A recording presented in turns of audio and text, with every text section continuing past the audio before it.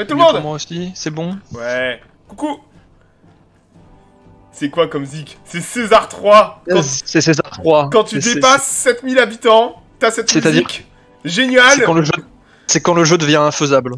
Oh si si si, c'est juste que tu sais pas jouer, c'est tout. euh. Ah oui, mais j'avais 8 ans quand je jouais à César 3. euh, Ah ouais, mais- passer, 5000, passer 5000 habitants, je commençais, mon cerveau il commençait à fondre. Hein. Ah bah ouais, mais si t'es pas bon, t'es pas bon quoi. euh. Ah, je suis maintenant ça va. Genre euh, j'ai réussi, Une j'ai réussi à le terminer il y a pas longtemps. une ville bien faite, à 7000, 8000, elle tourne toute seule. T'as rien à faire. Genre tu, tu peux regarder et tous tes habitants sont heureux. C'est-à-dire qu'ils te disent quand tu fais un clic dessus, euh, ils te disent Oh, oui, oh, euh, le- oh, mon êtes cette ville, euh, cette ville est pas mal, et tout ça, tu vois, ils te disent que la, la ville est bien. Ça, c'est une belle ville. Par contre, euh, ça peut être un peu chaud. euh. César César 3 c'est comme Pharaon. Pharaon. Pharaon est plus Oui facile. et non. C'est plus facile. Oui et non. César 3, c'est la, est- c'est la perle. c'est la version hardcore, c'est la version difficile de. C'est la- le plus difficile de la série et c'est le meilleur, moi je trouve. Hein. Les autres sont un peu trop faciles à voir. Ouais. Oh, Yam Zero, merci pour les bits pour c'est nul à César 3. Bah ouais, bah ouais, très Bah oui, important. mais je suis pas très bon, je mets tout bêtement, hein, je suis pas très bon en jeux vidéo tout court. Hein. Ce qui va nous permettre de faire notre transition. Alors, Skyros nous va nous parler de euh, l'Égypte ancienne. de la, la vie Et au quotidien. Et moi, Ouais. je vais vous parler du, euh, du Doggerland, qui est une terre qui a disparu à la fin de la dernière glacière, qui a été recouverte par les eaux. Donc, on va voir un peu de, de quoi il s'agit. Donc, euh, bah, écoute, Skyros, j'ai tes petites photos sous le. Ouais, commence par mettre la carte. Voilà. Si tout le monde sait à peu près ce que c'est que l'Égypte, mais juste histoire de montrer un peu le... ce- Cette carte, elle est intéressante, celle que j'ai trouvée. Commence par celle-là. Faut que je, je j'ouvre. Voilà, ça y est, mes images à côté dans mon coin. C'est bon. Ah. Donc oui, je parlais de la vie quotidienne en Égypte antique.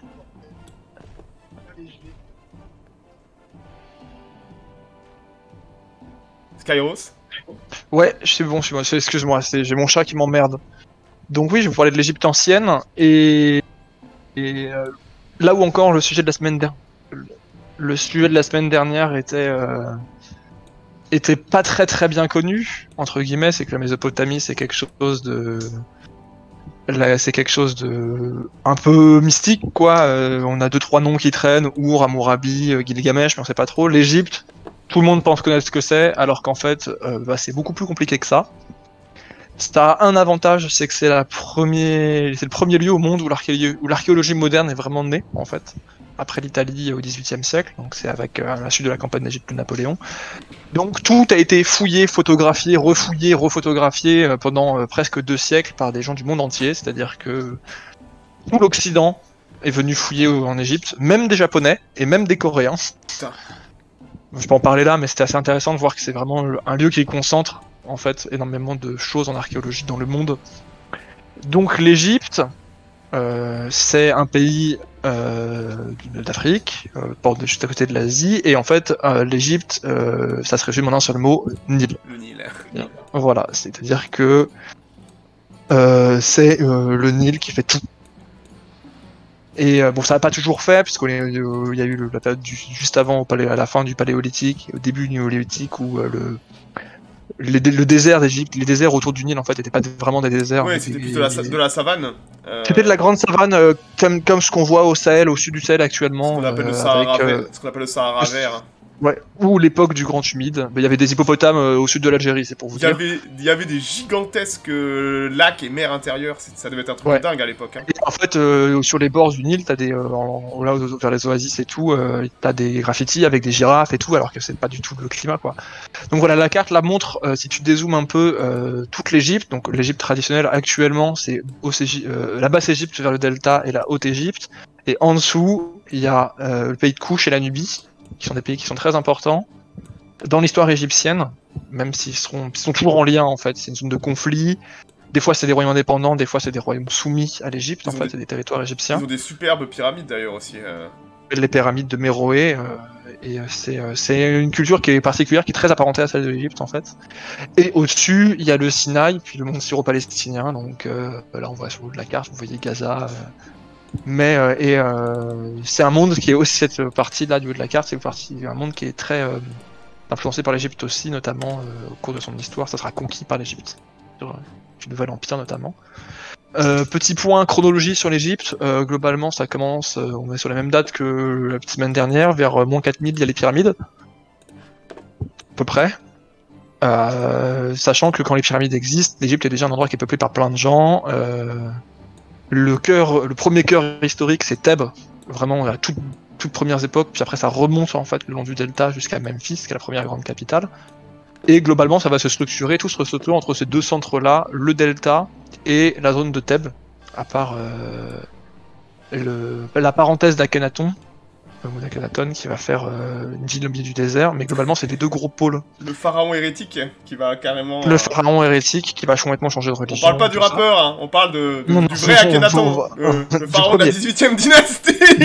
Le pharaon de la fin de la 18 e dynastie, ce sera pas le dernier, puisque ça sera son fils, le dernier, tout en Camon. Euh... Manque Tonis sur la carte, non mais oh, ça va, on encore 12 000 d'un des sites, Tonis c'est vraiment la basse Égypte. Et, euh, et euh, l'Égypte pharaonique, quelle on la connaît, la date de fin, comme de, actuelle pour ne- les plupart des égyptologues, c'est euh, Actium, en 40, moins 40. Je sais plus la date d'Actium, tu me le dire, tu, tu peux la connaître. Ouais, 44, Bon. je crois. Ouais, c'est par là. euh. C'est la, ba- bataille entre Marc-Antoine et, Marc-Antoine Cléopâtre contre Auguste. et Octave, ouais. Pas Auguste. Et enfin, Octave qui deviendra Auguste juste après. Mais euh, donc c'est euh, 4000 ans d'histoire, à peu près. Et c'est immense. Et c'est sans doute la période ancienne de l'histoire de l'humanité la mieux documentée.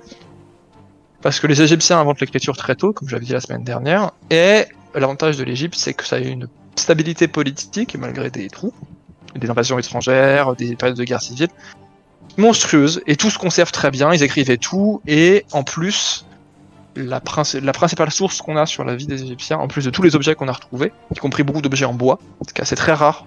Il y a des objets en bois qui ont euh, 6000 ans euh, au calme euh, dans les musées. Et surtout, ce qui est très intéressant comme indice, en fait, en Égypte, c'est que euh, dans leurs croyances funéraires, ils vont énormément, par leurs croyances funéraires, ils vont énormément représenter des scènes de la vie de tous les jours sur leur tombe. En plus de scènes religieuses voulant euh, expliquer le passage dans le monde des morts. Et c'est ce que je, l'image que d'après, qui est une peinture, C'est magnifique, hein. et qui est une peinture qui a, euh, ouais, qui est de la, de la 15e dynastie, de la 18e dynastie, euh, c'est 15e siècle avant notre, avant notre ère, ça, voilà, euh, 3500 ans. Ça, ça, ça, ça fait, la taille, les, c'est Stonehenge, je crois, c'est 3000 avant Jésus-Christ. Voilà. Et Stonehenge, à- Stonehenge, c'est 1000 ans après les pyramides, globalement. Pour, dingue, hein. euh, pour, ah, moins 30 et- moins 31 est facile de Ah oui, Axiom, on Axiom, c'est moins fout, euh. 31, merci. recoloré, on le trouvait comme ça. Quasiment rien n'est recoloré en Égypte.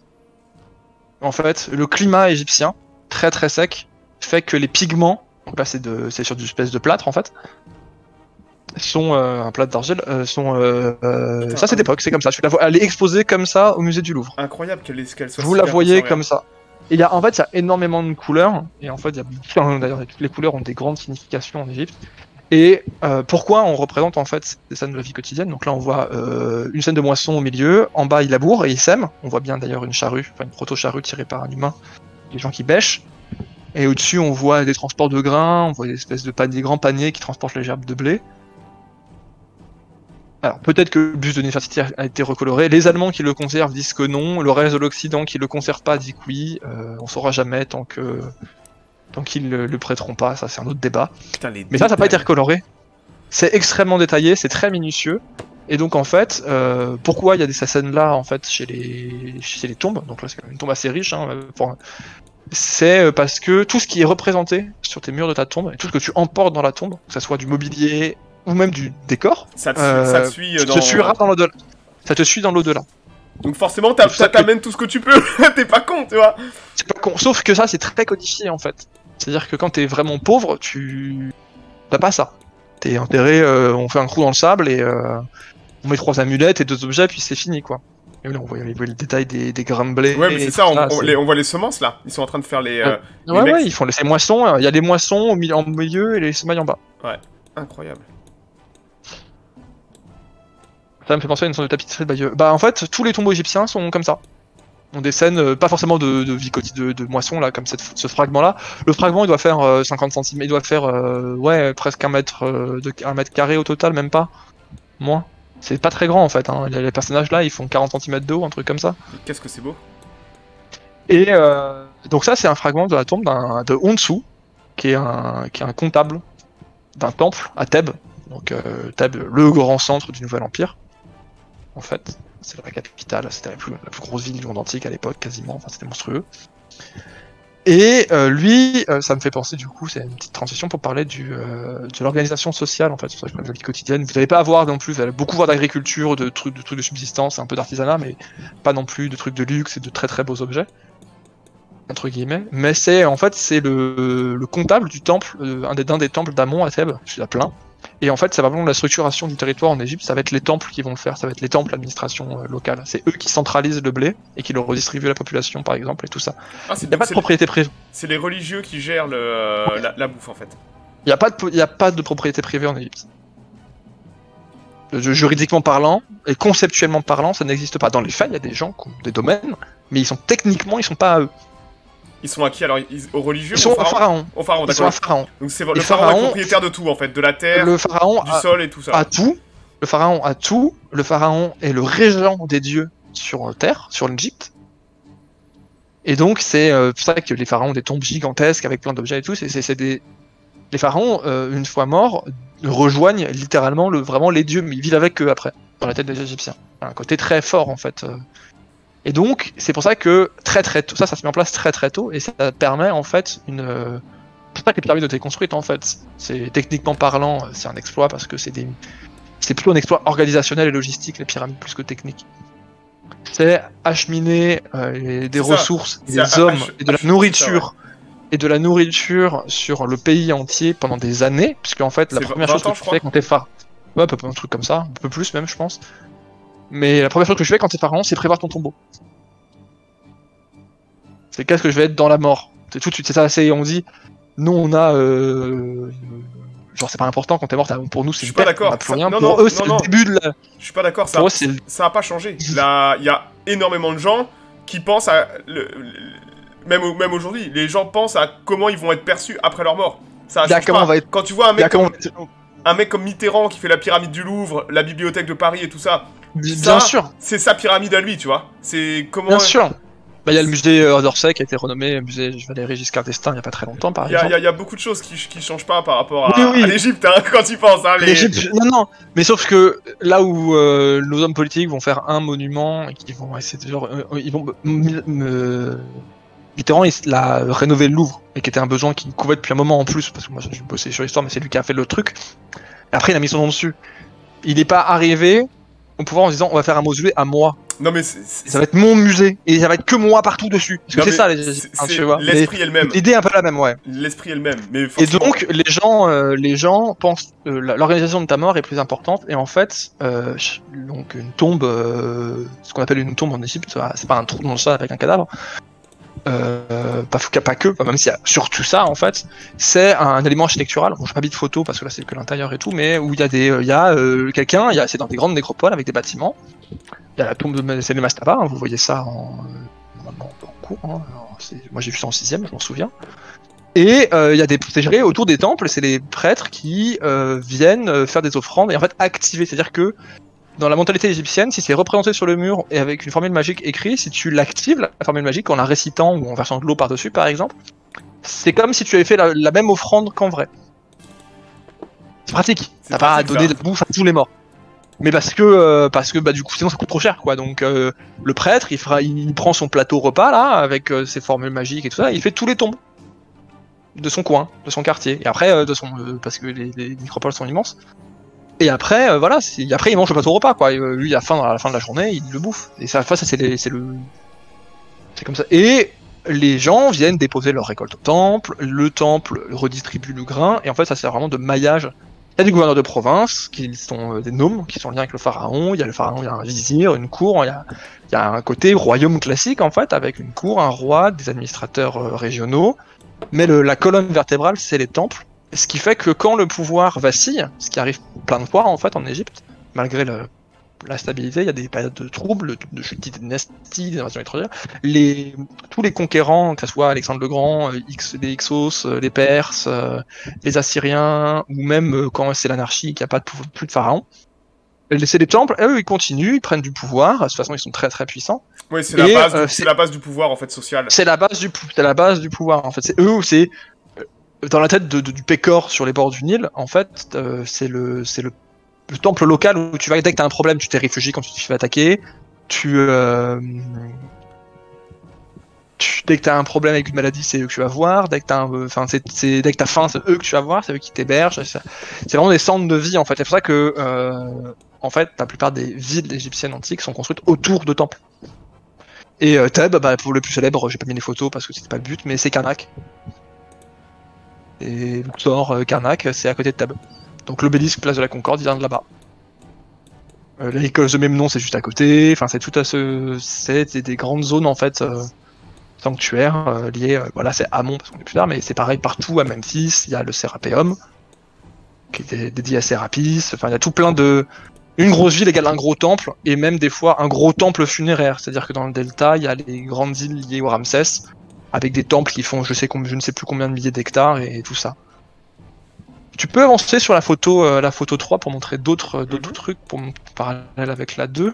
Du coup, parce que c'est l'avantage de la tombe de Hunsu, qui était comptable, c'est qu'il a représenté tous les travaux agricoles Putain, magnifique quoi. autour de, autour de chez lui. Oh, une, une scène Pour- de. Un abattoir. de l'élevage, il y a un abattage, ouais. Et en fait, comme il a représenté toutes ces scènes-là, mais la qualité, c'est. tout ça, c'est des trucs, c'est des trucs qui ont, euh, c'est, c'est, il y a des gens qui reconnaissent les espèces de poissons. Euh, Ah, les- les- là, ça, les doit- petits ça doit être une, pa- ça doit, ça doit être des tilapias euh, de- techniquement d'ailleurs. Mais Ah oui, il y, y a des- il y a des espèces de, de canards ou d'oies qui sont. euh, il y a des canards. c'est un lapin qui Ouais, ouais, non, il y a des canards, un antilopes. lapin. Les Égyptiens faisaient du foie gras, par exemple. On a des textes Oh, où il y a un- des trucs qui ressemblent à du foie gras avec du gavage de doigts, en fait, des poissons, du d'antilope, c'est du gibier Ah ouais, tous sauvage. les poissons incroyables. En de- haut, on voit. euh, on- Ça, ça, euh, ça c'est de même époque, c'est 15, c'est 15e siècle avant notre ère. C'est euh, la date tombe. Le problème, en fait, les Égyptiens, euh, on a très peu de dates vraiment précises parce que eux, leur calendrier est pas. Enfin, une tombe est datée notamment stylistiquement et tout ça par rapport ou dans les par des, des cadastres et tout ça par rapport au pharaon dans lequel elle a été construite. C'est genre ce- cette tombe, je suis né sous le règne de tel pharaon et je suis mort sous le règne de tel pharaon. En fait, t'as des fourchettes. Est-ce que c'est pas des œufs qu'elle a dans la. Et c'est c'est des œufs, c'est totalement des œufs. d'œufs, mais ils sont énormes, c'est des œufs. Je sais pas, c'est pas ce que c'est comme œuf, mais c'est des. euh, C'est des œufs, putain, incroyables quoi. Je suis bluffé par la qualité du, du détail en fait, c'est magnifique. les couleurs et euh, donc euh, bon il y a des, dessins de- des trucs de représentation œuf d'autruche euh, je crois pas parce que j'ai vraiment pas vu d'autruche dans mes dans C'est- mes dans et mes c'est plus recherches gros, c'est plus gros les œufs d'autruche. Hein. ouais Des œufs d'oie mais peut-être. euh, des os doigts je pense mais donc en fait le- les canons de représentation égyptiens font que on voit toujours très très bien c'est un truc de stylistique c'est à dire que c'est vous ne pouvez pas être comme les gens euh, représentés parce que physiquement c'est pas possible parce qu'il faut avoir un torse de face des jambes de profil un- une tête de profil un œil de face et ça le vaut pour tout en fait, c'est-à-dire que euh, faut que tout soit visible sur un seul plan. Donc en fait c'est très pratique pour reconnaître les choses. Et ça, euh, les gens qui ont peint ça, c'est des artisans spécialisés qui font ça toute leur vie. Ils sont peintres de tombes, ou sculpteurs de tombes, et ils font. euh, C'est-à-dire que tu peux vivre de décorer des tombes en Égypte, par exemple. T'avais des espèces des de, t'avais vases. des espèces de corporations aussi. Hein. Ouais, il y a beaucoup d'artisans. Il y a, j'en ai pas, je l'ai pas j'ai pas trouvé de, de photos satisfaisant. euh. Il y a un village euh, à côté de la vallée des rois, qui s'appelle Der El Medine, euh, qui est le, village des artisans qui construisent Ça, les ouais. tombes royales et qui servent qu'à ça. Ils font que ça. C'est-à-dire qu'ils sont euh, ravitaillés à dos de mulets parce qu'il y a rien qui pousse, il y a pas d'eau. Enfin, juste une, une source et c'est au milieu du, c'est sur les plateaux du désert et ils sont ravitaillés tout le temps et c'est les ouvriers les plus importants du royaume. C'est ça. Et genre, pour rentrer là-dedans, pour être sélectionné, je peux vous dire que c'était. Au début, très très. Et en fait, c'est devenu héréditaire très vite. C'est-à-dire que tu, tu nais dedans et tu revis dedans et tu. Enfin, tu deviens artisan en fait quand t'es un mec. C'est devenu une espèce de caste euh, arti- C'est artisanale. complètement une casse. Et d'ailleurs, euh, il y a une fois, ils se sont mis en grève à derrière Medine, j'ai plus la date. C'est c'est une, des premières- c'est une des premières grèves parce qu'ils n'étaient pas assez bien payés à leur euh, sens. Et ils se sont mis en grève en disant non, non, nous, euh, si on n'a pas euh, ce qu'on a envie, bah, bah, on bosse pas en fait. Et sauf que c'est tellement important dans la mentalité d'avoir une tombe terminée Que les si mecs. ta tombe n'est pas finie, si ta tombe n'est pas finie, euh... t'es pas complet dans l'au-delà en fait, vrai totalement. Ou alors t'as l'air d'un clodo. Et ça, c'est quand t'es pharaon, t'as pas envie d'avoir l'air d'un clodo dans l'au-delà. Parce que tu, tu- tout le monde y va en fait, même de même le moine Pécor, il retourne. Le Pécor, il meurt et il devient Pécor dans l'au-delà et il continue à travailler pour toi. Et il y a des trucs de comme ça, c'est plus t'es magnificent dans la mort, dans la vie, plus t'es magnificent dans la mort et tout ça en fait. Et donc, il y a des détails de fou. Et en fait, c'est euh, ça que tu peux avancer à l'image d'après. Non, c'est la- le modèle de la maison. Mais les deux images d'après, euh, côte à côte. Alors, euh, euh, alors le- la- l'image 4, tu me l'as pas donnée Ah, je- tu l'as pas Ah si, attends, attends, Attends. c'est bon, c'est bon, c'est bon, je viens de la trouver. Je vais la, la, la choper. trouvé Normalement, j'avais fait attention. Ouais, non, c'est juste que parfois c'est mon logiciel qui veut... Attends, la voit pas. Ouais. Alors je comprends pas, des fois il me la met, des fois il me la met pas. Ah, je sais pourquoi. Euh, all files. Voilà. C'est un, c'est un fichier euh, qui est Ah, c'est pas un bon, C'est pas bon. un bon fichier. Jiffy, voilà. Il faut- fallait que j'aille le Ah. prendre manuellement. Ouais, c'est- moi. Et, et 5. Et donc- Hop là, voilà. 5. L'image 5, ça, ça devrait aller. Donc, ouais, l'image 4, là, je sais pas si vous les voyez, mais donc l'image 4, ça s'appelle un mode, ce qu'on appelle un, un modèle. Et euh, ça arrive à un moment dans, dans les tombes égyptiennes, on se met à représenter des choses en 3D, des petites sculptures. Putain, génial quoi. Et donc, il y a- des sculptures de, de boulangerie, des maisons. Et donc là, c'est une maison en, en terre. euh, Donc ils ont trouvé ça, terre ils ont trouvé ça dans, dans- dans une tombe en fait. dans une tombe. C'est du mobilier, c'est du mobilier funéraire, c'est-à-dire que c'était dans une tombe. Et c'est-à-dire que je vais avoir, ça devait être associé à des formules et euh, j'emmène ma maison, euh, j'ai un modèle réduit de maison chez moi dans ma tombe et dans l'au-delà j'aurai ma maison.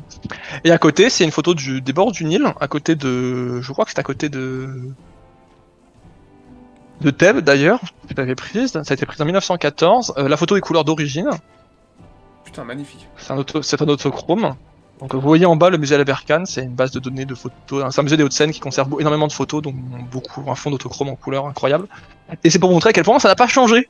C'est vrai que les baraques, ça ressemble un peu, on, on reconnaît les mêmes. Oh. euh, Mais c'est euh, c'est voilà la- la- le, le modèle réduit égyptien date de 1700 avant Jésus-Christ Putain, et la photo date de 1914. c'est vrai que les maisons. euh, Bah, bah, 3000, ça- voilà. Et, euh, et c'est pour montrer en fait la persistance. Pour pris une photo de 14, c'est donc c'est une photo qui est avant le barrage d'Assouan, qui date dans les années 50. Et en fait, euh, le barrage d'Assouan, bah, on a parlé dans la minute géopolitique euh, avec les barrages. Le Nil est un fleuve en crue.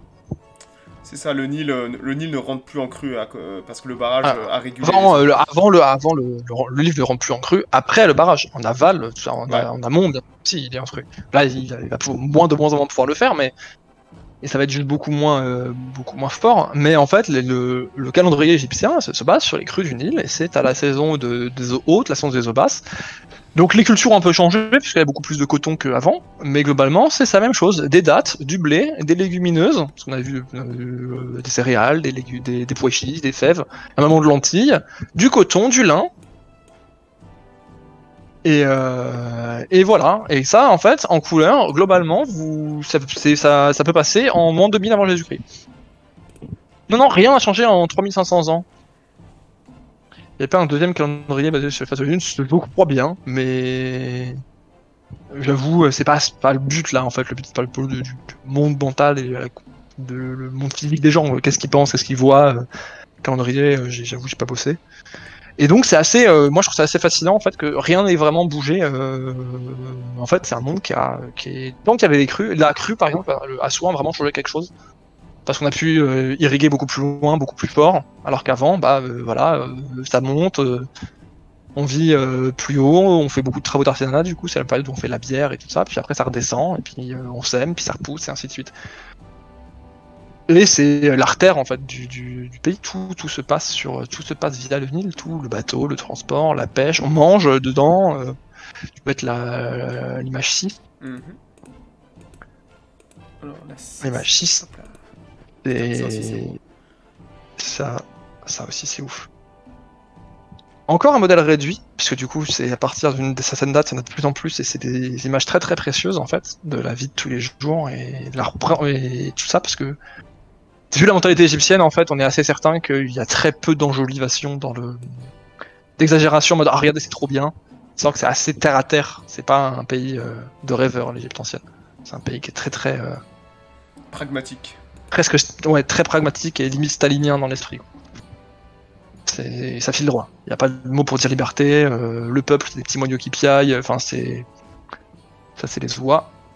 Et voilà, ça, c'est ce que la représentation par les Égyptiens eux-mêmes de ce qu'ils voient d'une cuisine chez eux.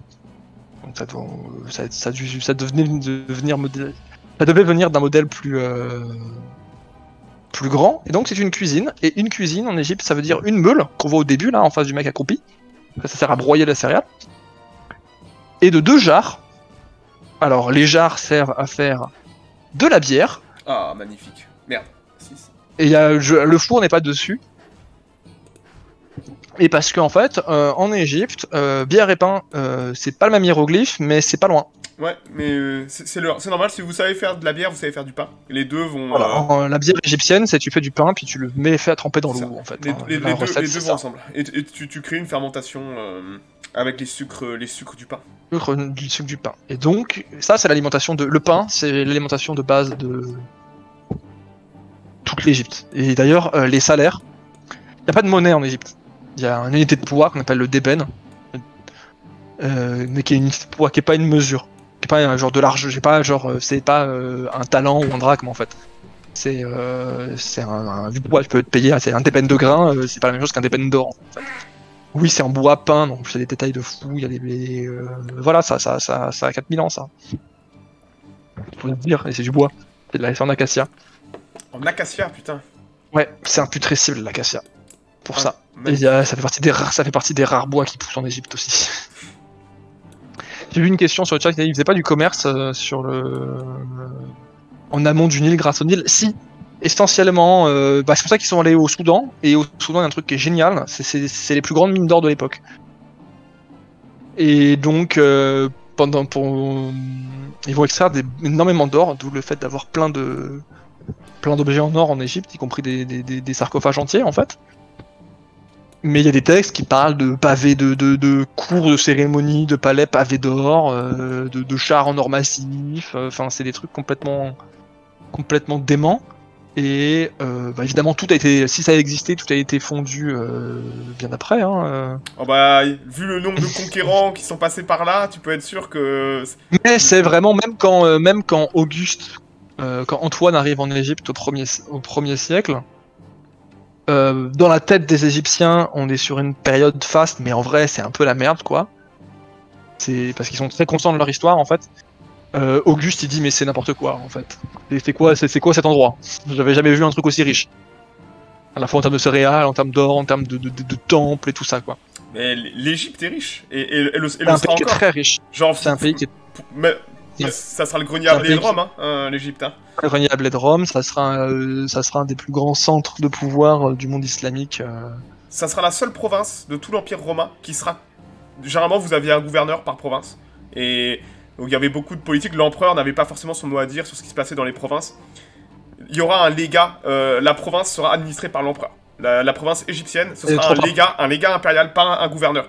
Qui et ça sera directement sous mandat impérial, la province. Simplement pour... On met, on met pas de politique en Égypte pour Hmm. pas faire chier l'approvisionnement en blé. C'est l'empereur. Voilà, Voilà, c'était le du de- domaine de impérial. Ouais, très très intéressant de voir comment l'Égypte était administrée par les Romains. Le frère presque, le fer presque plus précieux que l'or en Égypte à l'époque. Mais complètement en fait. Il y, a des- il y a des moments où le fer euh, est plus précieux que l'or. Mais après, la, la vision des métaux précieux chez les Égyptiens, euh, il n'y a pas de monnaie, donc en fait les gens entre eux font du troc, dans le sein même de l'Égypte. Ils s'échangent des poules, euh, tu peux mettre la- tu peux mettre l'image d'après, hein, les oies euh, qui sont incroyables, qui sont des œuvres, je pense, égyptiennes les plus, magnifique, ouais. Hop là. sont c'est sans doute une des œuvres égyptiennes les plus connues. Centre important. de- Oui, ça reste un. Mais c'est une position stratégique, l'Égypte est toujours maintenant. hein, et euh, tant que le monde sera organisé tel qu'il est, euh, avec les centres de pouvoir, ça sera toujours quelque chose d'important. C'est une de, un lieu de transition. Et euh, vu que t'as pas de monnaie, euh, l'or et l'argent, parce que l'or et l'argent sont considérés comme l'or, c'est la chair des dieux et l'argent leurs os. C'est un côté, euh, il s'est considéré comme des objets divins. Donc on va en faire des objets précieux, notamment des liés au rapport à- au, culte et notamment à la mort des pharaons et tout ça. Mais ils sont un peu, euh, en théorie, ils sont un peu censés être euh, peu enclins à, euh, à l'échanger comme une monnaie, comme d'autres peuples. Bon, ils le feront, hein, mais euh, mais pour eux c'est pas, euh, c'est un autre chose. Ouais, avec les oies. La photo est un peu floue. Ouais, non, mais la, la qualité, elle est incroyable. enfin, le détail, les plumes. Ouais, moi ça me, ça me dé- ça- c'est deg pas trouvé de qualité de photos parce que moi je les ai vues en vrai.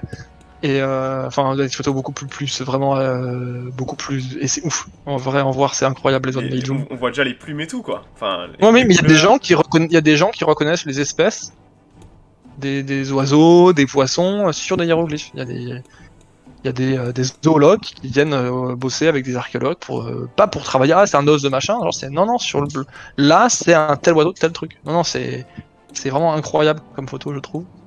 Après tu peux avancer. Hein. Il y a t'as la, la vite qui va bien aussi sur la vie quotidienne. Et ça c'est des scènes. euh, Il y a des oies parce que bah, on élève des oies en fait. Une des volailles les plus élevées en Égypte parce que le foie gras c'est super bon. T'as la pêche. Et euh, la pêche, l'image d'après, ouais, je te l'avais envoyé euh, celle-là aussi en privé avant, avant en préparant le truc.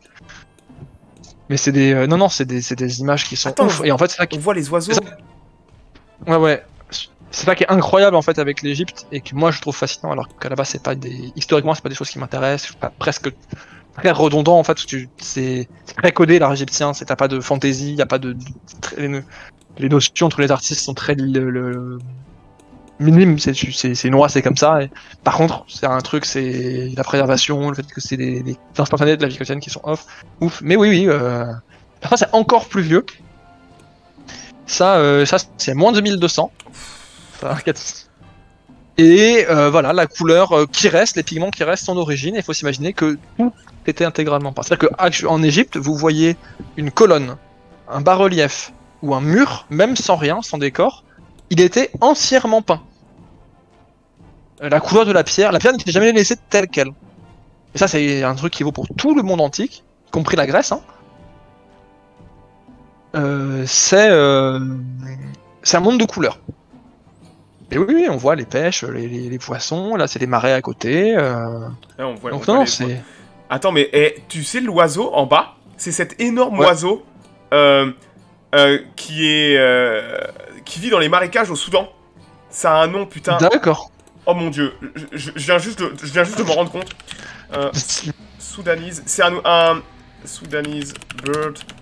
Le truc avec le gros bec là Oui, Espèce de pélican bizarre ouais. Non, euh, marche. Parce qu'il y a des... Parce que euh, y a, Putain, y a y a nom de des- cet oiseau? que tu rencontres, que tu connais, genre c'est, euh, c'est, tu rencontres beaucoup d'ibis et tout ça, qui ont des trucs sacrés. Au-dessus d'ailleurs, il y a des Je l'ai trouvé. Nom de dieu, je l'ai trouvé.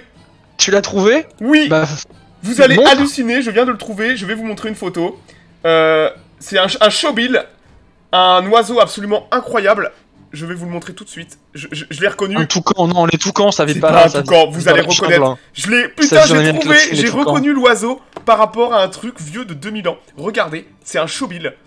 Non, non, 4000 PP, pas 4000. 2000 ans. C'est 2000, Regardez ça. ça vit à 4000 C'est un showbill, ça vit, dans, ça vit dans- au Soudan, dans les marécages soudanais. Putain, je suis tombé dessus par hasard, Pépé, l'anthropologue Regardez Vous, a- vous, vous, vous voyez l'ornithologue, l'anthropologue, c'est des gens. Ouais, c'est la même chose. C'est la même chose. Oui, c'est vrai. Ah bah ici, oui, c'est sûr, hein, on est tous des vautours, donc. euh, Je l'ai reconnu comme ça Mais oui, C'est un et il y, a la même... il y a avec- la même les poissons. Mais c'est génial, hein Incroyable. Ah, c'est incroyable. Putain. Magique. Et c'est un, c'est un bel oiseau, hein. Donc ça, ça c'est une grosse bestiole, hein. euh. Non, non, je vois, je remarquais ibis et tout. Les ibis sont pas représentés comme ça en Égypte. C'est un oiseau qui est beaucoup représenté aussi et. énorme. Ouais, il a une belle gueule. Il est beau, hein. Ils ont un peu Ah loupé ouais, les pattes, des- mais on, on reconnaît en fait le cou et le ouais, bec. mais je pense qu'ils ont loupé les pattes. Je pense qu'il y a pas trop la place et ils s'en fichaient un peu, quoi. L'important c'était le- je pense que la- le cou et la tête devaient être suffisants pour le, recon- pour Ouais. le reconnaître Mais en fait eh, pour on, les gens. on- on reconnaît bien hein, le, le- le bec et tout. Et ça, c'est. euh, ça vit au Soudan. Dans les marécages au nord. euh, Ouais, bah, Il y a des grands marécages avec le Nil. Euh, cet oiseau vit, vit là, entre autres. Donc, Bah, ça devait être. C'était le le Soudan actuel en fait, la vision qu'on a du Nil actuel au Soudan. Faut s'imaginer ça sur tout le long en fait, Euh, jusque jusqu'au delta. Et le delta euh, sera euh, en fait habité beaucoup plus tard. Dans l'Égypte, je fais un aparté, mais parce que euh, maintenant c'est canalisé, mais à l'époque ça l'est pas du tout. C'est une zone qui est encore plus marécageuse, avec beaucoup de maladies, très instable, et donc en fait ça sera stabilisé au fur et à mesure, et c'est plutôt vers la fin de l'Égypte ancienne à partir du premier millénaire avant notre ère et surtout à partir de on va appeler la basse époque et tout ça donc vraiment la fin fin fin de l'Égypte pharaonique classique que les centres de gravité vont se mettre vers le delta parce que ça s'ouvre en fait vers le monde méditerranéen ça permet d'avoir des échanges avec Rome avec la Grèce et tout ça alors qu'avant on est plus en retrait du delta soit juste en dessous soit vraiment carrément à l'intérieur des terres donc oui oui voilà cette, cette partie de pêche au filet mais ça fait partie voilà ça fait partie des, des trucs de l'alimentation en Égypte euh, l'agriculture la chasse la pêche avec des antilopes avec de l'élevage et, euh, et ensuite, euh, met la 9, euh, met la 9 et la 10. Mhm.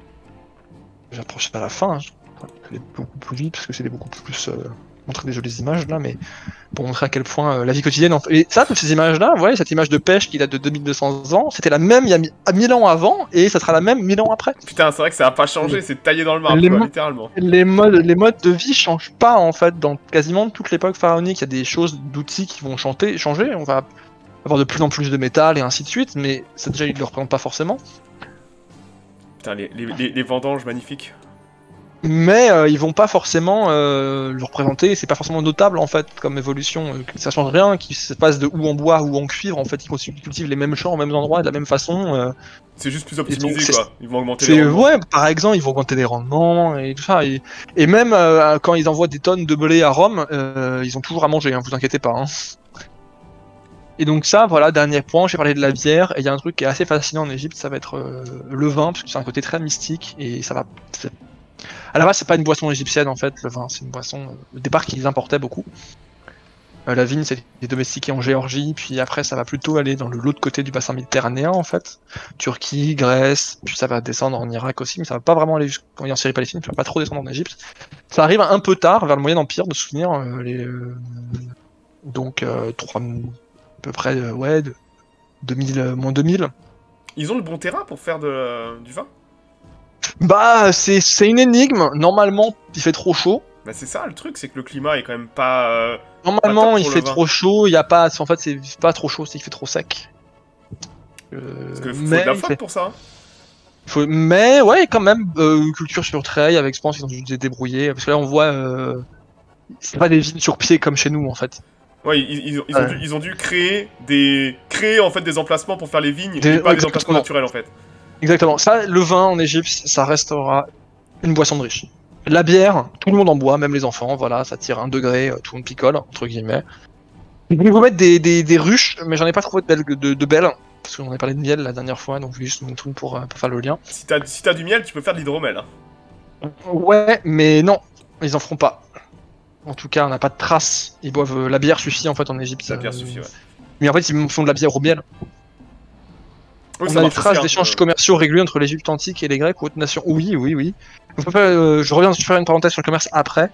Mais donc, euh, voilà, il, là, il cueille du vin sur trail et de, en haut, c'est un, donc un facsimilé. Donc, c'est pas une vraie tombe, c'est c'est une reproduction, c'est la juste à côté, hein, c'est dans un musée et tout ça, mais c'est la reproduction d'une tombe qu'on appelle la tombe de Sénéfer, euh, 18e dynastie. Comme les deux, c'est 18e dynastie. Donc, la 18e je parle beaucoup de la 18e dynastie parce que c'est vraiment l'apogée de l'Égypte. C'est Toutmosis, c'est tout ça.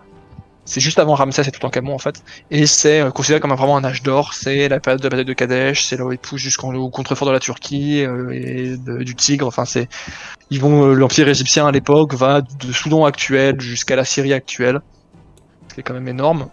Et euh, mais euh, cette tombe, euh, en fait, est le plafond est intégralement recouvert, en tout cas dans la grande salle, d'un- d'une vigne. On nous montre Ah bien ouais, en fait ce qui oh est merde, une vigne, d'accord. C'est une vigne entière sur le plafond. On voit les scènes de, c'est des dieux, c'est sans doute le défunt, enfin c'est tout plein de, trucs rituels euh, qu'on voit en fait. C'est des, des étapes de la vie après la mort, le chemin en fait pour aller vers la mort. Et le plafond en fait là de cette salle, c'est une vigne. Et c'est la seule tombe comme ça. Donc on sait pas trop pourquoi. On imagine qu'il avait une affection tout particulière. Pour le vin, le mec. le vin. Oh, vous allez me mettre de- des vignes là aussi et là aussi. Et là, et là, mais, euh, mais c'est voilà, je trouve cette tombe magnifique. Alors c'est en Crète où il me semble que l'art était très, très inspiré de l'art égyptien. C'est beaucoup plus compliqué que ça, euh, et pas vraiment en fait. L'armi- L'arminois. Ouais, l'art minoen, c'est d'autres. Il y a des codes qui ressemblent, mais qui ressemblent en fait à tout faux de l'époque. Et pas vraiment. C'est compliqué. Mais évidemment, tout s'influence toujours un petit peu, mais est-ce que ça découle? Est-ce que c'est vraiment influencé? Est-ce qu'on peut vraiment parler de, filiation et ou d'influence forte? Euh, C'est très compliqué en fait. Parce que c'est très compliqué, parce que, euh, parce que les Égyptiens, ils ont une conception du monde qui est particulière. Alors, et l'Égypte en égyptien ancien, ça se dit Kemet. Et alors, je crois que ça veut dire la rouge de souvenirs. Et surtout, ils ont une, un- il y a un concept qui va euh, globalement, qui est un concept philosophique en fait, qui est religieux, qui va euh, occuper en fait toute la vie en Égypte. C'est ce qu'on appelle le concept de Mahat et d'Izefet. Et donc en fait, c'est le concept de globalement, ça se traduit Mahat par ordre slash ce qui est bien slash ce qui doit être fait et ce qui doit rester comme ça. D'un côté, c'est comme ça que l'ordre cosmique est et ça ne bouge pas. Et en face, c'est l'Izéphète, c'est le chaos, c'est tout l'inverse. C'est le désordre et. Et euh, pour les Égyptiens, euh, l'étranger, c'est de la merde. C'est pas de la merde en mode c'est pas bien, c'est mieux, c'est nous. C'est dangereux, c'est des sauvages, c'est des sous-hommes. Et on n'a aucun intérêt à un qui viennent chez nous, qui, viennent et qui passent, qui viennent faire du tourisme, et deux que nous on aille chez eux. À côté, c'est très carré. C'est l'Égypte, c'est le monde, et puis c'est tout. Le reste, c'est pas bien. Alors philosophiquement, c'est ça. ça, ça mais ça, ça c'est à l'échelle du pays, mais euh, à l'échelle du paysage, c'est la Mahat, ça va être les terres cultivées et le village face au désert. Ça va être le, ça va être que des choses comme ça. C'est entre c'est très traduit entre civilisation et sauvagerie. Et mais c'est beaucoup plus complet parce que même ça va beaucoup plus loin que ça. Ça ordonne vraiment le, la façon de voir le monde et l'univers pour les Égyptiens. Et donc le commerce, euh, ils vont en faire, ils vont en faire beaucoup, mais c'est très compliqué. Il y en a pas beaucoup. C'est très contrôlé par l'État, c'est-à-dire que c'est, c'est pas les, il y a peu d'initiatives privées. Et c'est que pour certaines denrées notamment, c'est-à-dire que euh, les Égyptiens vont notamment exporter beaucoup de, de grains et de produits agricoles. Ils vont importer euh, des métaux, notamment euh, de l'argent et de l'étain, parce qu'ils n'ont pas d'étain chez eux pour faire du bronze. Ils vont importer du bois de construction, du Liban. Ouais. C'est déjà à l'époque, exporte, C'est ça qui est un truc les- dingue. C'est que le, le, le bois de construction navale à l'époque, dans le Moyen-Orient, il y a un endroit, c'est le bois du Liban, les cèdres du Liban. Mais Et- qui est que de, et que les constructions navales et architecturales. Les, Euh, les, les- palais, les palais assyriens puis perses, sont faits avec les palais de Darius et du tout, Liban. sont faits avec du cèdre de Liban. Rappelez-vous que la, la flotte mamelouk euh, qui était allée attaquer les Portugais en Inde, euh, ils avaient, c'était avec du bois du Liban. Et quand ils avaient voulu reconstruire leur flotte, les pirates, les, euh, les chevaliers de Saint-Jean par, euh, avaient attaqué le convoi en pensant qu'il était, euh, bah, que c'était des gens riches à bord parce qu'ils étaient super bien défendus. Et c'est con, hein. ils avaient capturé toute la flotte, c'était tout le bois, le bois du Liban pour reconstruire une nouvelle flotte. Donc les, les chevaliers de Saint-Jean, ils avaient foutu le feu en disant Ouais, merde, on a capturé du le bois. Liban, c'est euh, le Liban, ils exportent du cèdre toujours maintenant. En fait, le cèdre, c'est un bois de maintenant dans le dans le mobilier et la lutherie et tout qui est réputé. Et ils, ils ont des bois de très très bonne qualité. Les Phéniciens, c'était avant ou après? Bah pendant et après. Phéniciens, c'est premier millénaire entre le deuxième et le premier millénaire de notre ère, et donc euh, les Égyptiens, ils vont passer devant l'Égypte. Et c'est la Phénicie sera en partie soumise à l'Égypte. En fait, quand ils vont faire des conquêtes, il y a que dans le pays de Couche, entre guillemets, au Soudan, qui vont vraiment faire une conquête durable avec des énormes forteresses. J'ai d'en trouver mais euh, des belles photos, mais euh, c'est pas très ouf. Donc euh, c'était pas le sujet non plus. Il y a des énormes forteresses en fait au Liban égyptienne servent à garder le pays. Et c'est le seul endroit où ils vont vraiment s'implanter, durablement en tant que tel, avec des gouverneurs, avec des garnisons, avec leur armée. En Syrie-Palestine, ça va être que des de la gouvernance plus lointaine à base de vassalisation, de cité-état, de échange d'otages, de liens commerciaux très forts. Et euh, donc c'est euh, c'est c'est beaucoup plus soufflé. Pendant un moment, c'est vraiment la plus grande puissance du bassin méditerranéen, quoi. Et euh, bah, tu peux mettre euh, l'image 11, qui est encore sur le vin, mais qui est pas tout à fait la même période. Alors, C'est original ça? Ça, alors ça, c'est fait partie des trucs euh, pas forcément ultra connus. C'est ce qu'on appelle un portrait du Fayoum. Et donc le Fayoum, si tu remontes la carte, c'est une Ouais, oasis au nord de C'est l'île. l'oasis euh, Fayoum, ouais. Euh, ça, je la connais. Et-. C'est un endroit qui est connu. Et sauf que le Fayoum, c'est une oasis qui est utilisée euh, en fait à la fin de l'Égypte pharaonique, vraiment à la toute fin. Et particulièrement à partir de. ça commence à être plus euh, important à l'époque ptolémaïque. Donc euh, l'époque ptolémaïque en Grèce, ça dure 300 ans. hein, c'est pas non plus. C'est beaucoup, euh, mais c'est pas énorme à l'échelle de l'Égypte. Et en fait, c'est surtout un tombeau romain. Sauf que quand les Romains prennent le truc, euh, les cultures sont toujours les mêmes en fait. hein, et en fait, c'est d'époque, ce portrait a lui 2000 ans. Putain, C'est du incroyable. premier siècle. C'est les plus vieilles, c'est les plus vieilles peintures sur bois et ou tissu conservées en Europe, enfin dans le monde Allez. méditerranéen. Est ouf la qualité, hein. Genre, Et y a, vous en vous en trouvez des centaines. En fait, c'était un portrait, on, on- on mettait les gens dans des linceuls et c'était ce qui leur servait de visage en fait. en- Ah ouais, d'accord. euh, d'accord, c'était leur, leur visage mortuaire en fait. Voilà. Et euh, bon, la- pour la technique, c'est quoi? C'est la cire, c'est peint avec un mélange de cire d'abeille et de pigments. C'est parmi les plus vieilles techniques de peinture du monde. C'est comme ça que sont peints euh, les euh, euh, les peintures minoennes, que sont peints beaucoup de choses en Égypte et tout. Et euh, si vous faites gaffe, il a un verre de vin. Ouais, c'est ça, il a, il, il a, une- il, a, il, un putain de verre de vin, le, le mec là. C'est pas que je l'ai mise, il a un verre de vin, mais il y en a, mais euh, le mec fait très gaffe. Mais c'en est un, hein. Mais euh, c'en est un sans doute de culture, parce qu'on est plus haut dans l'Égypte et tout ça, mais mais euh, fait très grec. Mais les Égyptiens sont des Méditerranéens en fait hein, à l'époque antique. De culture, euh, si tu remontes à l'anthropologie avec des traits qui sont très africains euh, de- du coin, genre soudanais, machin et tout. Mais ils sont pas noirs en fait. Ramsès, son père, s'appelle Séti, et Séti en Égypte ça veut dire euh, rouge, roux, comme Seth. Donc euh, Kemet ça veut dire la noire, justement. Kemet ça veut dire la noire, et c'est le, le nom de l'Égypte, c'est le nom du limon, la terre. Et euh, le père de Ramsès c'était roux, Putain. genre roux. Et en fait, ils avaient sans doute, les Égyptiens anciens, avaient sans doute plus cette tête-là, en un peu plus foncé. Ramsès n'a pas été roux, si, si. Plus cette tête-là, peut-être un peu plus foncée, un peu plus frisée, que. Euh... Il y avait des grosses têtes d'arabes en fait, je sais pas comment vous dire ça, hein, mais. Non, mais ils- moi je trouve qu'ils hein ils- font très puniques. Mais oui, mais c'est ça! Cette. Mais euh, c'est la même chose. les, euh, les- les puniques sont très méditer- méditerrané- de style méditerranéen, un peu, un peu bah, actuellement tunisien, tu vois. Ce sont. euh, Ouais, voilà, il y a, il y a un, un mélange entre euh, ce que tu, tous le- les types de ils sont pas encore. il Y a pas, les, les Arabes sont pas encore passés par là. Il y a pas eu la conquête arabe et on a en fait Non, mais, ce- les- ce mais- mais style l'Égyptien- est une langue, l'Égyptien est une langue sémitique, comme l'arabe, par exemple, tu vois, d'un point de vue linguistique. Là, euh, quand Champollion a découvert les, les... Champollion s'est intéressé en fait aux hiéroglyphes parce qu'il s'intéressait au s'intéressait aussi au copte. Il y a, il y a des... Le copte est une langue sémitique. Donc il y a, il y a des liens de parenté évidemment, hein, mais Cheikh Anta Diop a dit que les Égyptiens étaient, étaient noirs. Bah alors non. Enfin il y avait des noirs en Égypte plein parce que le Soudan est juste Bah, en dessous. sans hein, aucun doute. euh, euh, Il y avait le Soudan qui était là, donc c'était. euh, C'était des locaux limite, hein. Mais dans les représentations, euh, c'est pas du tout la même chose, même en Égypte. En égyptien, vous l'avez vu avant, les, euh, les femmes ont une, on s'en avec une peau blanche, les hommes avec une peau plutôt rouge. Ça, c'est juste un code de représentation. Mais ils ont pas la même peau que quand représentent des esclaves, des, soit des esclaves, il y a beaucoup de soldats en fait qui étaient soudanais, qui étaient énormément là-bas, ou euh, que, euh, que les soudanais, et qui ont eux-mêmes sont encore différenciés des reliefs qu'on a des expéditions de- égyptiennes en- au pays de Punt, là en Somalie, pour récupérer de l'encens. C'est encore d'autres types. Et... Alors, est-ce que c'est à prendre d'un point de vue ethnologique et- ou pas? Mais, euh, mais voilà. Oui, il y a eu une dynastie, il y a une dynastie libyenne à la fin de l'Égypte, ça a duré un petit, euh, petit interlude, ça a duré 100 ans, euh, et puis c'est pas très grave. Et je te laisse mettre la dernière photo, parce que c'est celle que je t'ai envoyée à la fin, parce que c'était la photo qui m'a impressionné quand j'ai recherché le truc et que ça n'avait pas grand chose à faire dans mon petit exposé. La carrière. La carrière. Qui est incroyable. Alors ça, cette photo, elle date, pareil, je- j'ai plus la, je je sais plus si elle a date dessus, mais elle date du 20e siècle, du début du 20e, je crois que c'est 1905.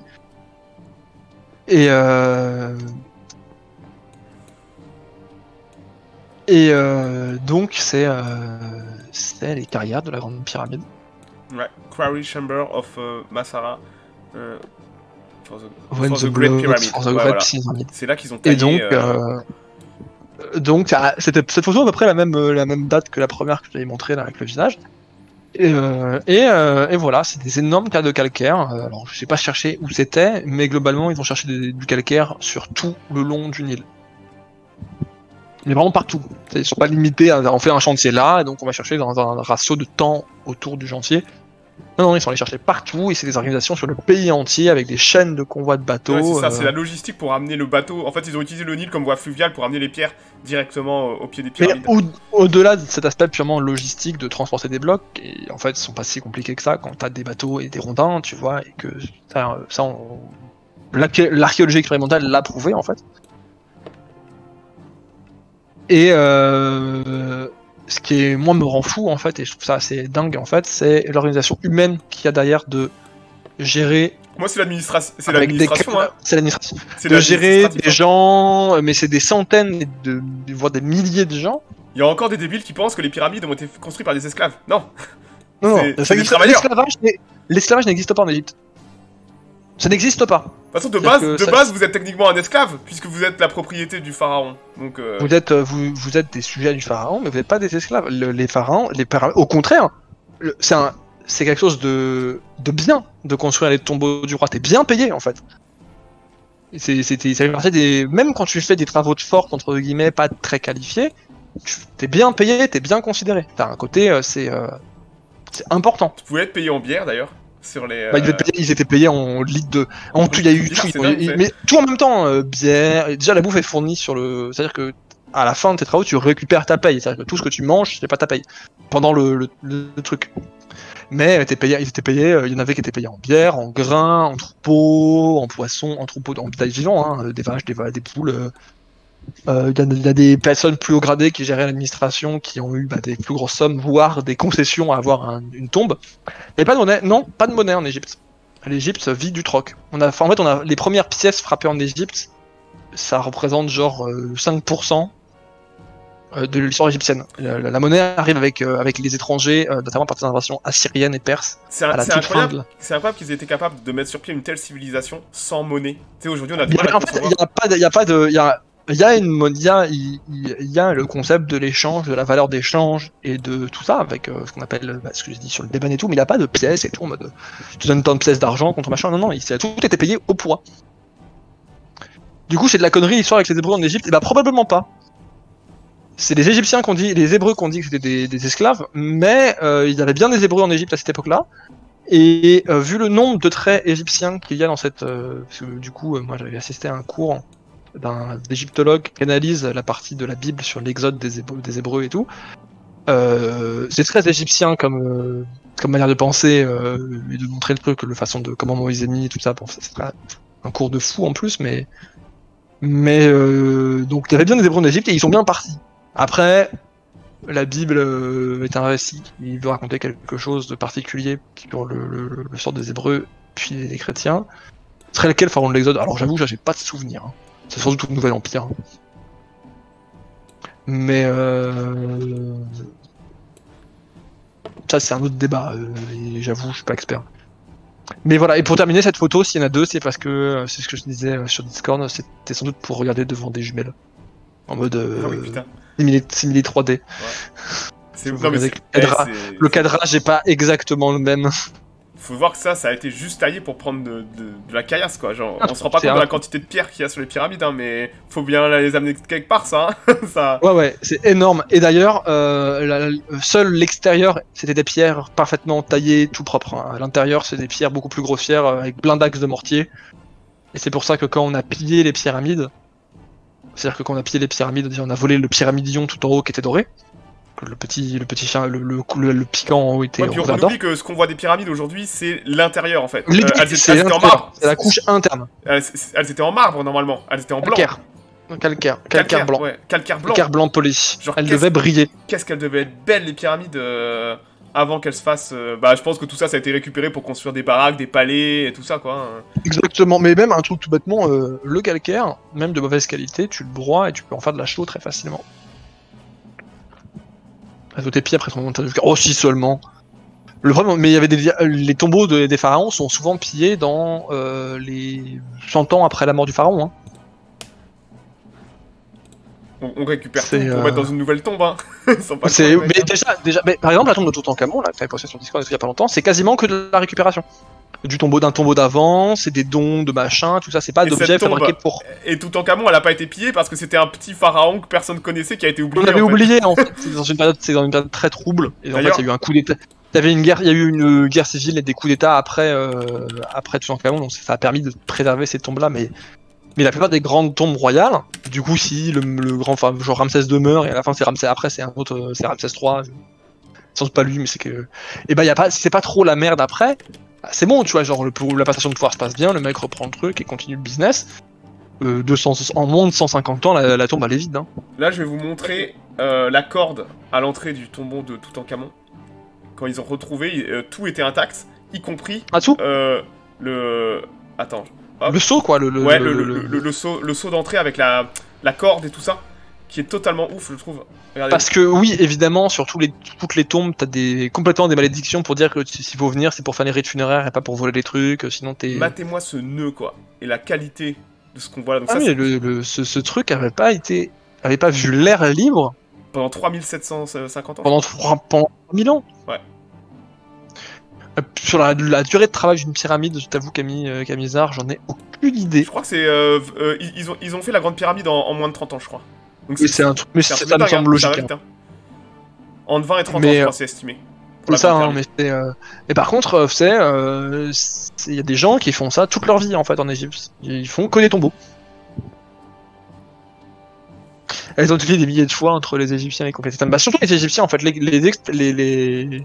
c'est pas les c'est pas les pyramides, euh, qui ont été- pas les tombes et les pyramides qui ont été pillées par les, les envahisseurs. Envahisseurs ils savaient très bien que là où il y avait le plus d'argent facile à trouver, c'était dans les temples en fait.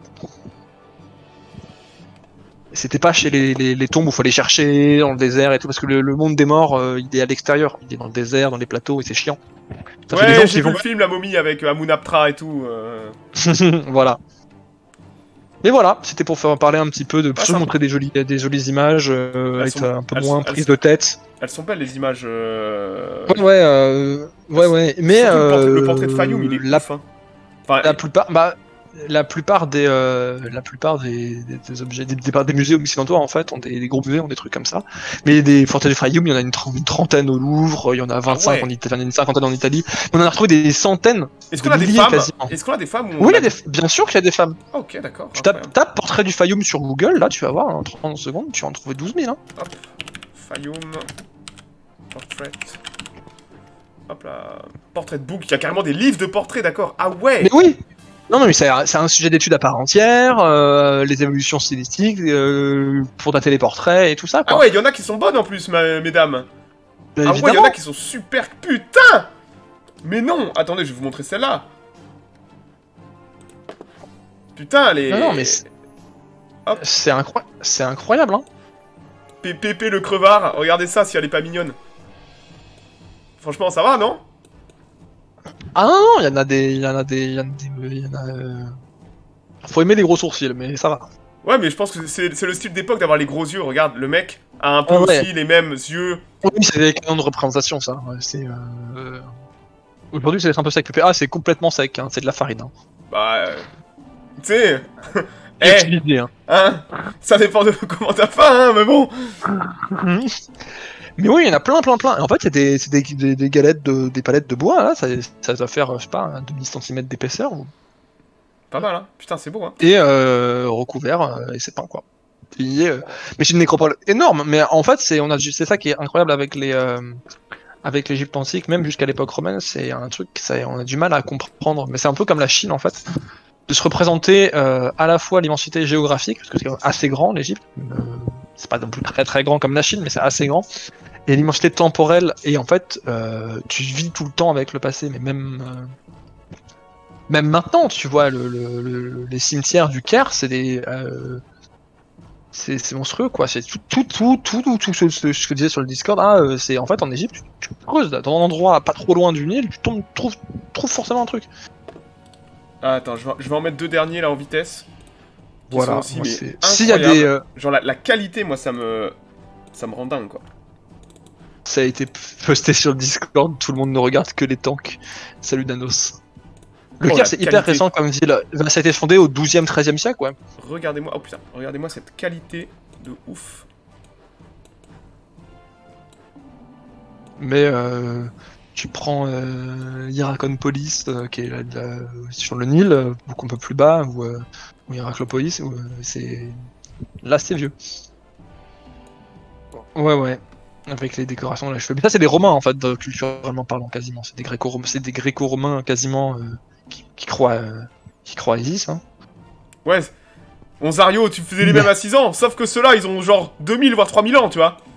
En 2000 ans ouais. C'est 2000 ans le Fayou. C'est premier siècle avant euh, avant JC. Arrêtez de regarder les boulons là aussi, aussi là. Oui, tout à fait Nanos. Regardez les belles choses. Euh, Eh, pourquoi pas les deux Hein? C'est vrai ça. Pourquoi pas les deux? Moi, j'aime bien les deux. Mais je sais, je sais. Non mais c'est gros. C'est tu connais notre amour pour les boules. Tu connais notre amour. En plus moi je suis beaucoup plus pro boulon que que Hibernanos, mais c'est c'est c'est du gentil troll. Hein. C'est bon. Euh, Nanos, votre gueule, c'est le poète, c'est. Mais oui, attends, t'es- euh, si tu continues à nous faire chier, attention, euh, attention en octobre, on va te débouler à deux. euh, tu Ah ouais, rien oh comprendre. hein. putain, je... Mon cauchemar Mon cauchemar Bon, euh, ça va être à mon tour Ah ouais Bah, moi, euh, on va aller encore plus loin. On va aller quelques millénaires avant euh, l'Égypte antique. Euh, D'abord, on va aller en 2013. Il s'est passé quelque chose d'extrêmement intéressant euh, sur les côtes galloises. Il y a eu une très grosse tempête hivernale qui a totalement euh, balayé les fonds marins, y compris la plage.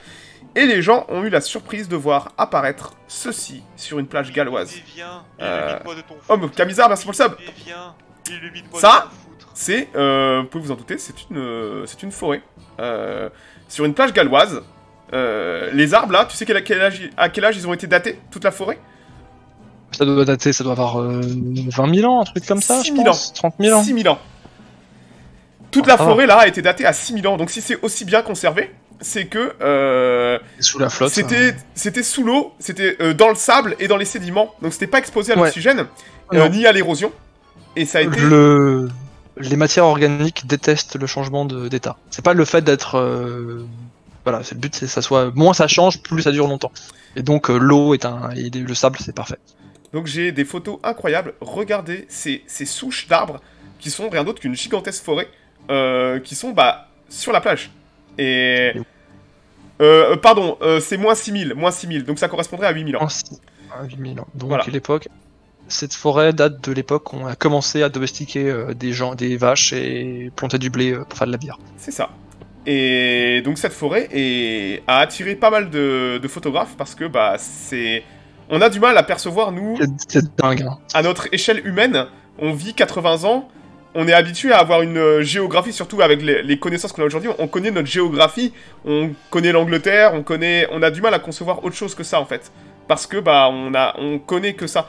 Et le fait, ça, ça, ça nous trouble. Enfin moi ça me trouble énormément de voir ces énormes souches d'arbres. C'est pas des jeunes arbres, ces arbres-là, ils sont déjà putain vieux sur la plage et j'ai des. Ouais, ça veut dire qu'avant avant, euh, avant 6000 ans, euh, avant c'est moins 6000, il y avait d'autres arbres avant en fait. comprendre aussi. qu'ici, il y a 8000 ans, il y avait une gigantesque forêt.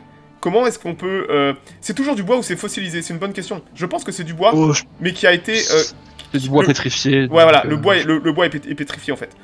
Mais euh, Maintenant, c'est techniquement, c'est sans doute, c'est techniquement sans doute de la pierre maintenant, mais c'est du Faudrait bois voir. à la base. faudrait voir, simplement. Ah ouais, je, T'as- je cherchais ça. T'as aller au Pays de Galles et tu t'es essayé de, te- de, de couper à l'âge.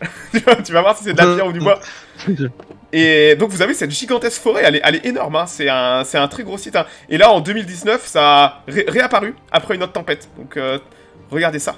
Donc ça c'est d'anciens... euh, Donc vous avez même des troncs d'arbres parfois. Vous avez carrément des troncs d'arbres qui sont tombés au sol et qui ont été euh, préservés euh, par les sédiments.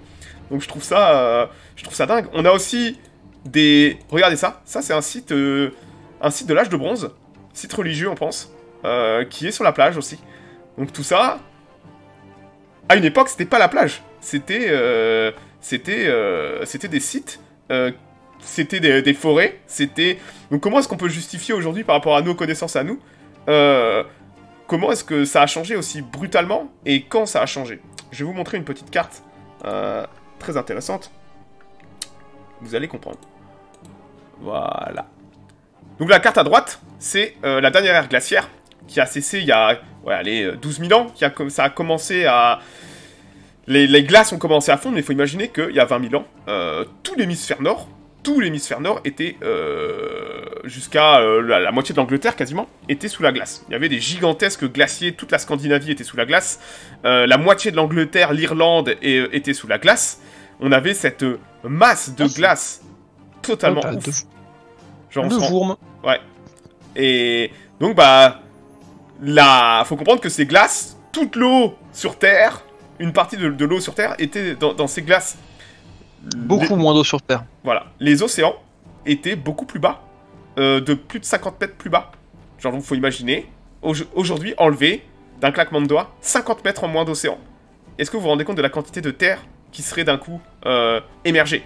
Souvent, là, je- j'entends les, les ayatollahs de l'écologie qui me disent euh, Oui, c'est la fin du monde, on, va- on va prendre 5 cm des océans. Non, mais les gars, arrê- arrêtez quoi. Genre, les 5 cm, ouais, ça va faire chier bah, les mecs qui sont déjà un peu plus bas. Mais, euh, bah, récemment, euh, jusqu'à il y a quelques euh, bah, milliers d'années, on a pris 50 mètres dans la gueule, hein, en, Ah ouais. en- en quelques milliers d'années, hein, voire plus de 50 On, mètres. on est censé, techniquement d'ailleurs, d'après les modèles géoclimatiques, retourner dans une période de glaciation. Ça, D'ailleurs. on, sera On pas est censé. On est censé. Hein. Donc en tout Non, cas, voilà, mais c'est- la courbe qui le dit. Après, on va voir. il y a, il y a 16 000 ans, on va dire, ouais, les glaces ont commencé à fondre, donc ça a été un processus... euh, à- alors souvent, on voit tout à notre échelle humaine. Il faut voir que toutes ces terres n'ont pas disparu en claquement de doigts. C'est un processus extrêmement long, sur des milliers d'années, où l'eau à simplement monter. Donc faut imaginer que euh, ce qu'on appelle le Doggerland, là vous le voyez bien sur la carte, il a été très bien montré. Bah, l'Angleterre était donc il y a, allez, 6000 ans. 6000 ans, hein, c'est pas, pas, pas, tant que ça qu'on y pense. Hein, euh, 8000 ans, ouais, ouais. 8000 8000 ans. 10 000 ans, 8000 ans, 8000 ans. Bah, l'Angleterre était reliée euh, au continent. Donc vous aviez, faut imaginer qu'il y avait un fleuve gigantesque dans la Manche. C'était le Rhin, la Tamise euh, et, la Seine. Genre la Meuse aussi. Tout ça se jetait dans ah tout le, un seul fleuve, un fleuve gigantesque. Euh, ça me fait penser à, ce que j'avais dit la, semaine dernière sur le fait qu'en Mésopotamie, les marais actuels de Bassora et tout n'existaient pas en fait, mais c'est la même période. Ouais. C'est la même chose. C'est juste pas le même endroit du globe, hein, mais c'est faut voir tout ça comme ça sur Terre. Et donc, faut imaginer que le, le donc on avait ce plateau très bas qui est entre le Danemark et, et l'Angleterre, qui était bah, un endroit. Euh, bah, la mer était, était loin. Hein, euh, faut Bien sûr, n'existe pas. Ouais. Et c'était euh, un endroit extrêmement fertile. On a. Alors, dans les années 30, donc en 1930, on a eu. avec l'émergence des, des, chalutiers, des chalutiers métalliques, donc dans les années 20-30, on a eu une petite révolution dans la pêche avec les, les, les chalands on avait des, bateaux assez balèzes pour euh, envoyer des filets. On a commencé à remonter des trucs de dingue. À l'époque, on savait pas vraiment ce que c'était. Euh, comme je dis, on avait une vision euh, géographique du truc, mais on n'avait pas idée que il y avait eu des choses là. Habité en fait. c'était habité, que c'était habité pendant des, des, des je siècles. vais vous montrer une photo assez dingue. Hop. Hop là, voilà. Ça, est-ce que quelqu'un dans le chat peut me dire de quel animal... Vous imaginez de quel animal c'était Ils ont trouvé ça, forcément, sous l'eau. Ça a été remonté en 1950 et quelques, je crois. C'est... Non, c'est pas des rennes. Ça aurait pu, mais c'est pas un... du renne. Ça aurait pu, hein, c'était... Non, pas mammouth. Bien tenté, mammouth, parce que on trouve des choses de dingue avec des mammouths, ouais. Non, je vais vous le dire, c'est un bison. C'est le plus vieil objet avec euh, un impact humain. Si vous regardez bien, l'os de bison a été taillé. Donc ça, c'est pas un animal qui a fait ça, c'est quelqu'un. Et ça a été daté de 13 500 ans. C'est le plus vieil objet avec impact humain qu'on ait trouvé euh, euh, qu'on ait remonté avec un, un chalut. Donc c'est un os de bison qui a été taillé par quelqu'un. et ils ont retrouvé ça au fond de l'eau. Euh, dans ce qu'on appelle les, euh, les bancs, les, les bancs dogger, donc les, on va appeler ça le Doggerland. Et bah ça c'est l'impact humain. On a aussi trouvé des trucs extrêmement euh, intéressants comme un crâne humain daté de la même époque. Je vais enlever la carte, voilà. Donc voilà un crâne humain qui a été retrouvé aussi au fond. Les chalutiers ont remonté des trucs de dingue en 70 ans avec les, et même maintenant, les scientifiques vont avec les chalutiers parce que les mecs remontent systématiquement des trucs de ouf. Euh, on a remonté, quelqu'un l'a dit tout à l'heure. Euh... Hop. Oh, regardez ça. Ça, c'est un crâne de mammouth qui a été remonté comme ça euh, par un chalutier. Donc il y avait des mammouths, il y avait des bisons. Euh, aujourd'hui, avec l'amélioration en, en archéologie sous-marine, on a trouvé des forêts entières, des collines boisées, avec des vieilles souches qui sont maintenant sous des sédiments.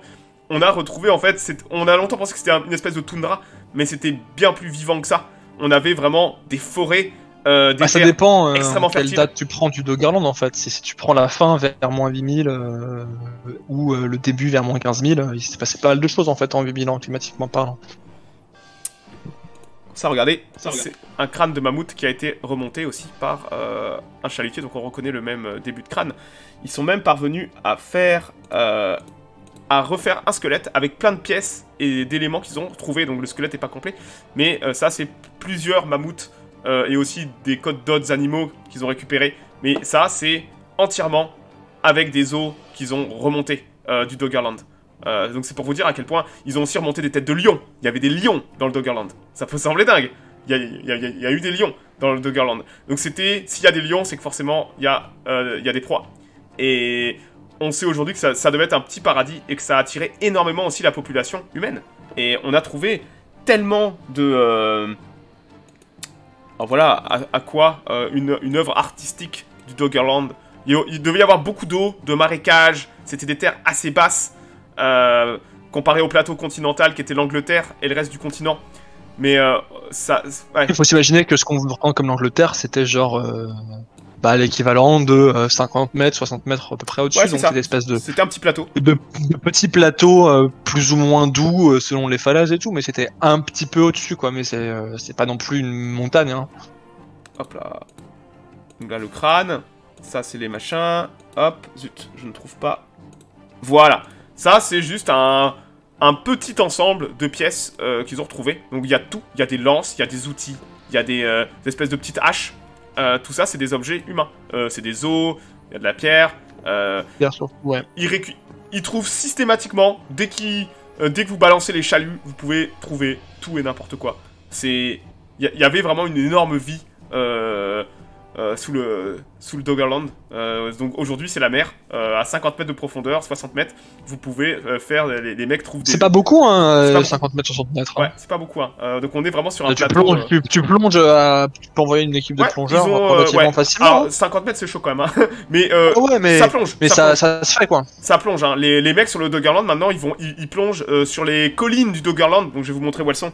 Ouais, Euh, tu, tu plonges à 20 mètres quoi. C'est ça. Cool. Je vais vous montrer les dernières cartes euh, d'il y a 6000 ans, euh, quand Holocène. Alors ça c'est justement, donc là vous reconnaissez l'Angleterre avec la- l'estuaire de la Tamise. Donc ça c'est ce qu'on appelle le Doggerland, donc ça a été cartographié, hein. c'est-à-dire qu'on a retrouvé les cours des rivières, on a, on a cartographié le Doggerland qui est sous l'eau maintenant. Donc vous pouvez aller à des endroits où, euh, les, sur les, les collines hautes du Doggerland, euh, où vous pouvez plon- plonger et trouver, euh, il y a des arbres et tout ça, c'est un truc de dingue, hein. ça a été Bah, ça, a mis tellement de, ça, a, ça a mis tellement de temps à se faire euh, Engloutir. recouvrir que, engloutir que l'érosion est toujours là quoi. Donc là, on, on est au large, au large de l'Angleterre. Bah ouais, parce que c'est sous l'eau, tu peux pas reconnaître. Pour faire simple, Oui, oui, mais juste en dessous, non, je pense que tu parlais de la Tamise, mais juste en dessous, on voit les côtes de Norwich et tout là. ouais, ça, voici. Là, voici- juste en dessous, c'est- faut imaginer la case sur Europa Universalis ou euh, Heart of Iron juste au nord-est de Norwich.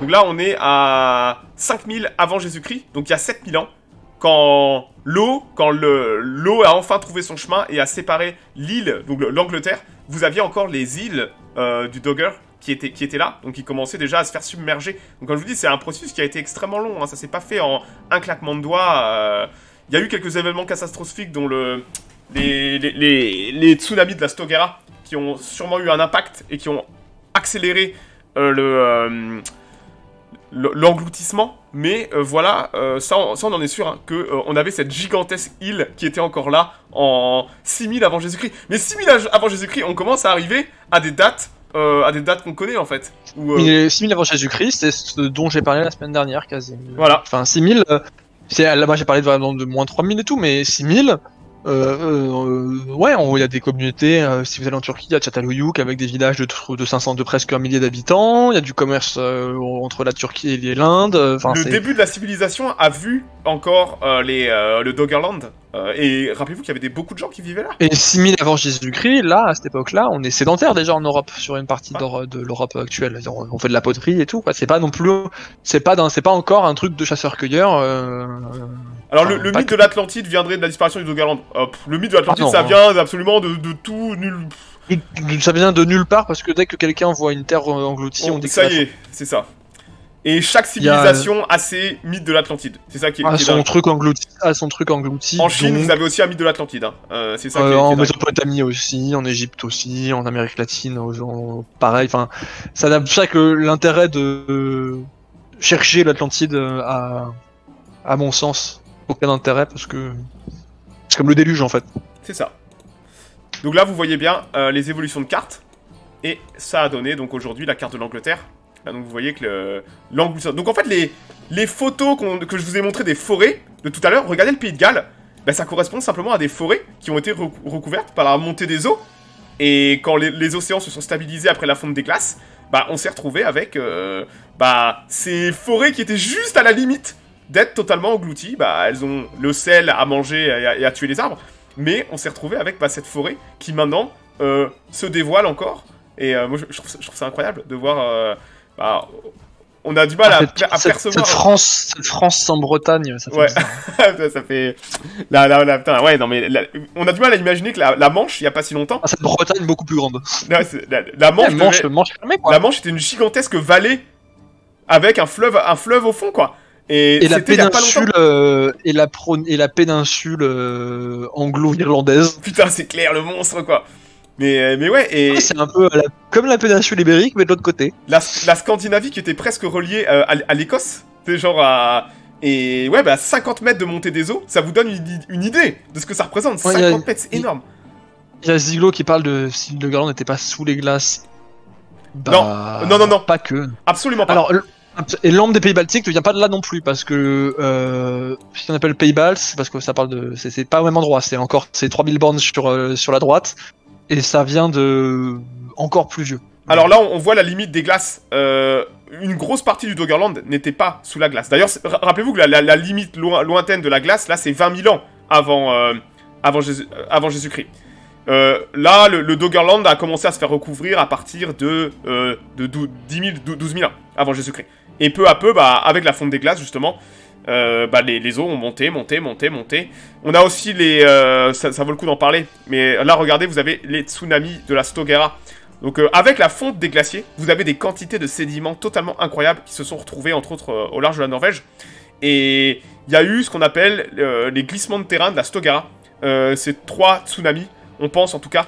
Donc regardez cette photo assez dingue. Euh... Faut que je retrouve euh, ma petite photo. Putain, où j'ai mis ça? Là Ça, c'est en Écosse, à 25 km à l'intérieur des terres. C'est une. euh, Donc vous voyez que ce sont des couches sédimentaires. Bah ça, c'est. Ce sont des sédiments de mer. Euh, Il y a eu un, un gi- un gigantesque euh, glissement de terrain au large de la Norvège. Donc on- ça, ça, on le sait, ça a été. euh, Et donc 6000 ans avant Jésus-Christ. Ce qu'on appelle les glissements de terrain de la Stogara. On a mis un peu de temps à, deviner de quoi il s'agissait. Est-ce que c'était une explosion de, gaz qui aurait provoqué, parce qu'on sait qu'il y a pas mal de gisements dans le coin. Euh, mais il semblerait que ce soit justement ces, ces sédiments de glaciers qui simplement glissaient parce qu'ils étaient instables au niveau euh, sur le sur le sol euh, sur le, plafond maritime et sur le fond maritime et ils ont glissé ça a provoqué un gigantesque tsunami et, on voit là je m'entends en double enculé Pardon et euh, donc ouais là on voit en fait les, euh, sédiments euh, donc c'est à 25 km à l'intérieur des terres à, environ 9 mètres euh, par rapport à 9 mètres au-dessus de la mer actuelle c'est-à-dire que on parle d'une vague de peut-être 20-30 mètres qui a déferlé dans les fjords écossais et qui a remonté. donc ça a dû être catastrophique pour les populations. Rappelez-vous que là en Écosse on est déjà haut, c'est-à-dire que le Doggerland est beaucoup plus bas. Et on sait que ces raz-de-marée ont dû, on pense en tout cas, ont dû avoir un impact énorme sur toutes les populations qui habitaient au bord, des côtes dans le Doggerland. Il y a eu plusieurs tsunamis euh, sur Milan qui se sont succédés à cause des, bah, avec les mêmes causes, c'est-à-dire ces glissements de terrain euh, assez, euh, assez dingues qui ont eu lieu euh, au large de la Norvège. D'ailleurs, il y a eu pas mal d'é- d'é- d'études hein, sur est-ce que les forages qu'on fait en Norvège, les forages de pétrole, n'auraient pas pu provoquer un nouveau euh, raz-de-marée de la Stoga? Et les- Norvégiens ont, ont planché sur le sujet parce que on sait que c'est c'est- Ouais. c'est les plus gros euh, maintenant. Ouais, c'est les plus gros raz-de-marée qu'on ait eu dans l'Atlantique Nord, euh, qu'on ait, qu'on ait découvert en tout cas. Et ça, voilà, c'était juste pour. Alors en tout cas, on, on sait aujourd'hui que le- le- ces, ces tsunamis n'ont pas provoqué quoi que ce soit, enfin, n'ont- ont peut-être accéléré un certain mouvement d'engloutissement, mais au final, les eaux se sont retirées. Et on est, c'est vraiment la fonte des glaces qui ont provoqué l'engloutissement du, euh, du, du Doggerland. Mais ouais, je trouve ça assez incroyable, moi, d'imaginer, parce que c'était il y a pas longtemps, c'est ça le truc. À l'échelle géologique, À l'échelle géologique, c'est rien du tout. À Même à l'échelle humaine, c'est pas il y a tant que ça, à moins 6000, euh, il y a Ouais. déjà, euh, déjà des villes et quasiment des îles et tout. moi, j'avais même vu des trucs beaucoup plus récents euh, autour du Doggerland, entre guillemets, même pas, pas le.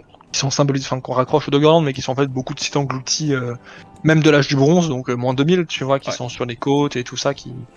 que le, le- le paysage tel qu'on le voit actuellement euh, a complètement changé en fait. Et Mhm. comme.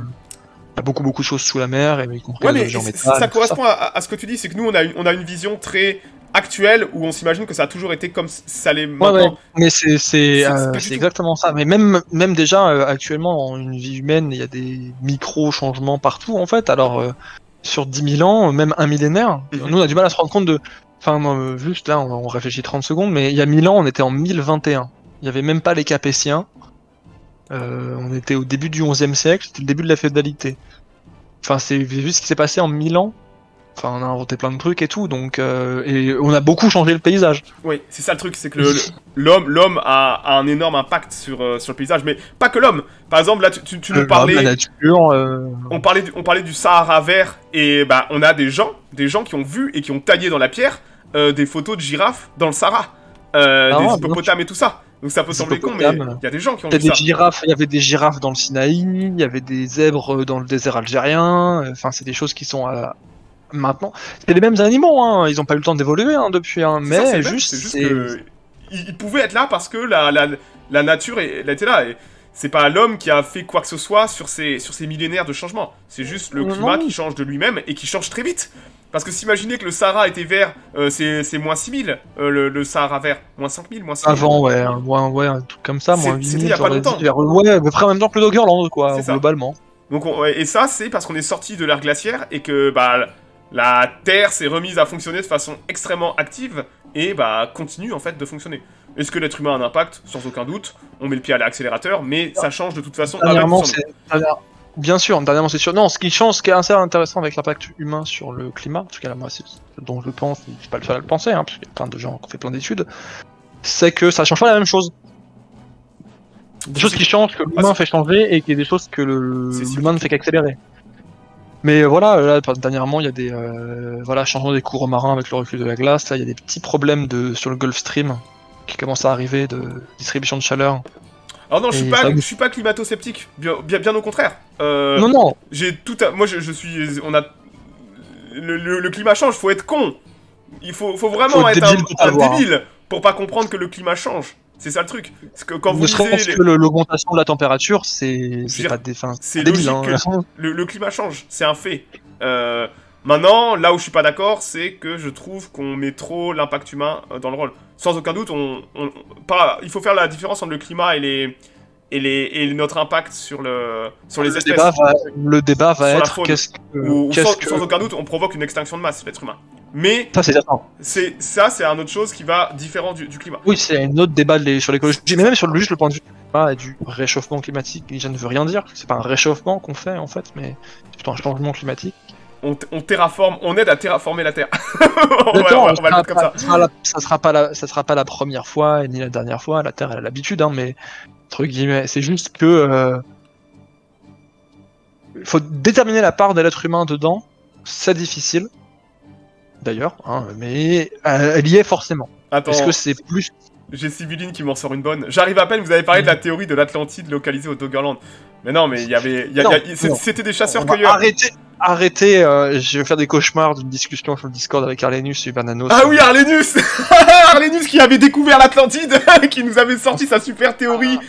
les sauces là. euh, Ah putain. Non, mais J'en ai les. fait des cauchemars. Non, mais c'est, euh, c'est, c'est... l'Atlantique n'existe pas et enfin si, mais c'est un conte philosophique de Platon. Ça, c'est- ça vous suffit pas, c'est déjà bien. Hein. Non, non, mais le climat, c'est ça qui est compliqué, c'est que c'est de doser la part de l'humain dedans. Ouais. Et c'est incalculable en fait. En fait, Par on, contre, on manque de data. C'est c'est quelque chose que On je manque de data. On manque de données. On, on note, on écrit sur le climat depuis pas assez longtemps. On n'a pas assez de données pour justifier notre impact. Si on n'a pas assez de données, Et, vous pouvez euh, dire tout et n'importe quoi. Les archives, les archives que sont euh, les carottes glaciaires euh, commencent à sortir vraiment, à avoir vraiment de l'exploitation depuis quoi, 40 ans, un truc comme ça, 50 ans, ce qui est peu, hein. Et donc, euh, on verra. Ce qui est sûr, c'est qu'on la salope. Ça, c'est. Ah oui, non, mais ça- ça, eh.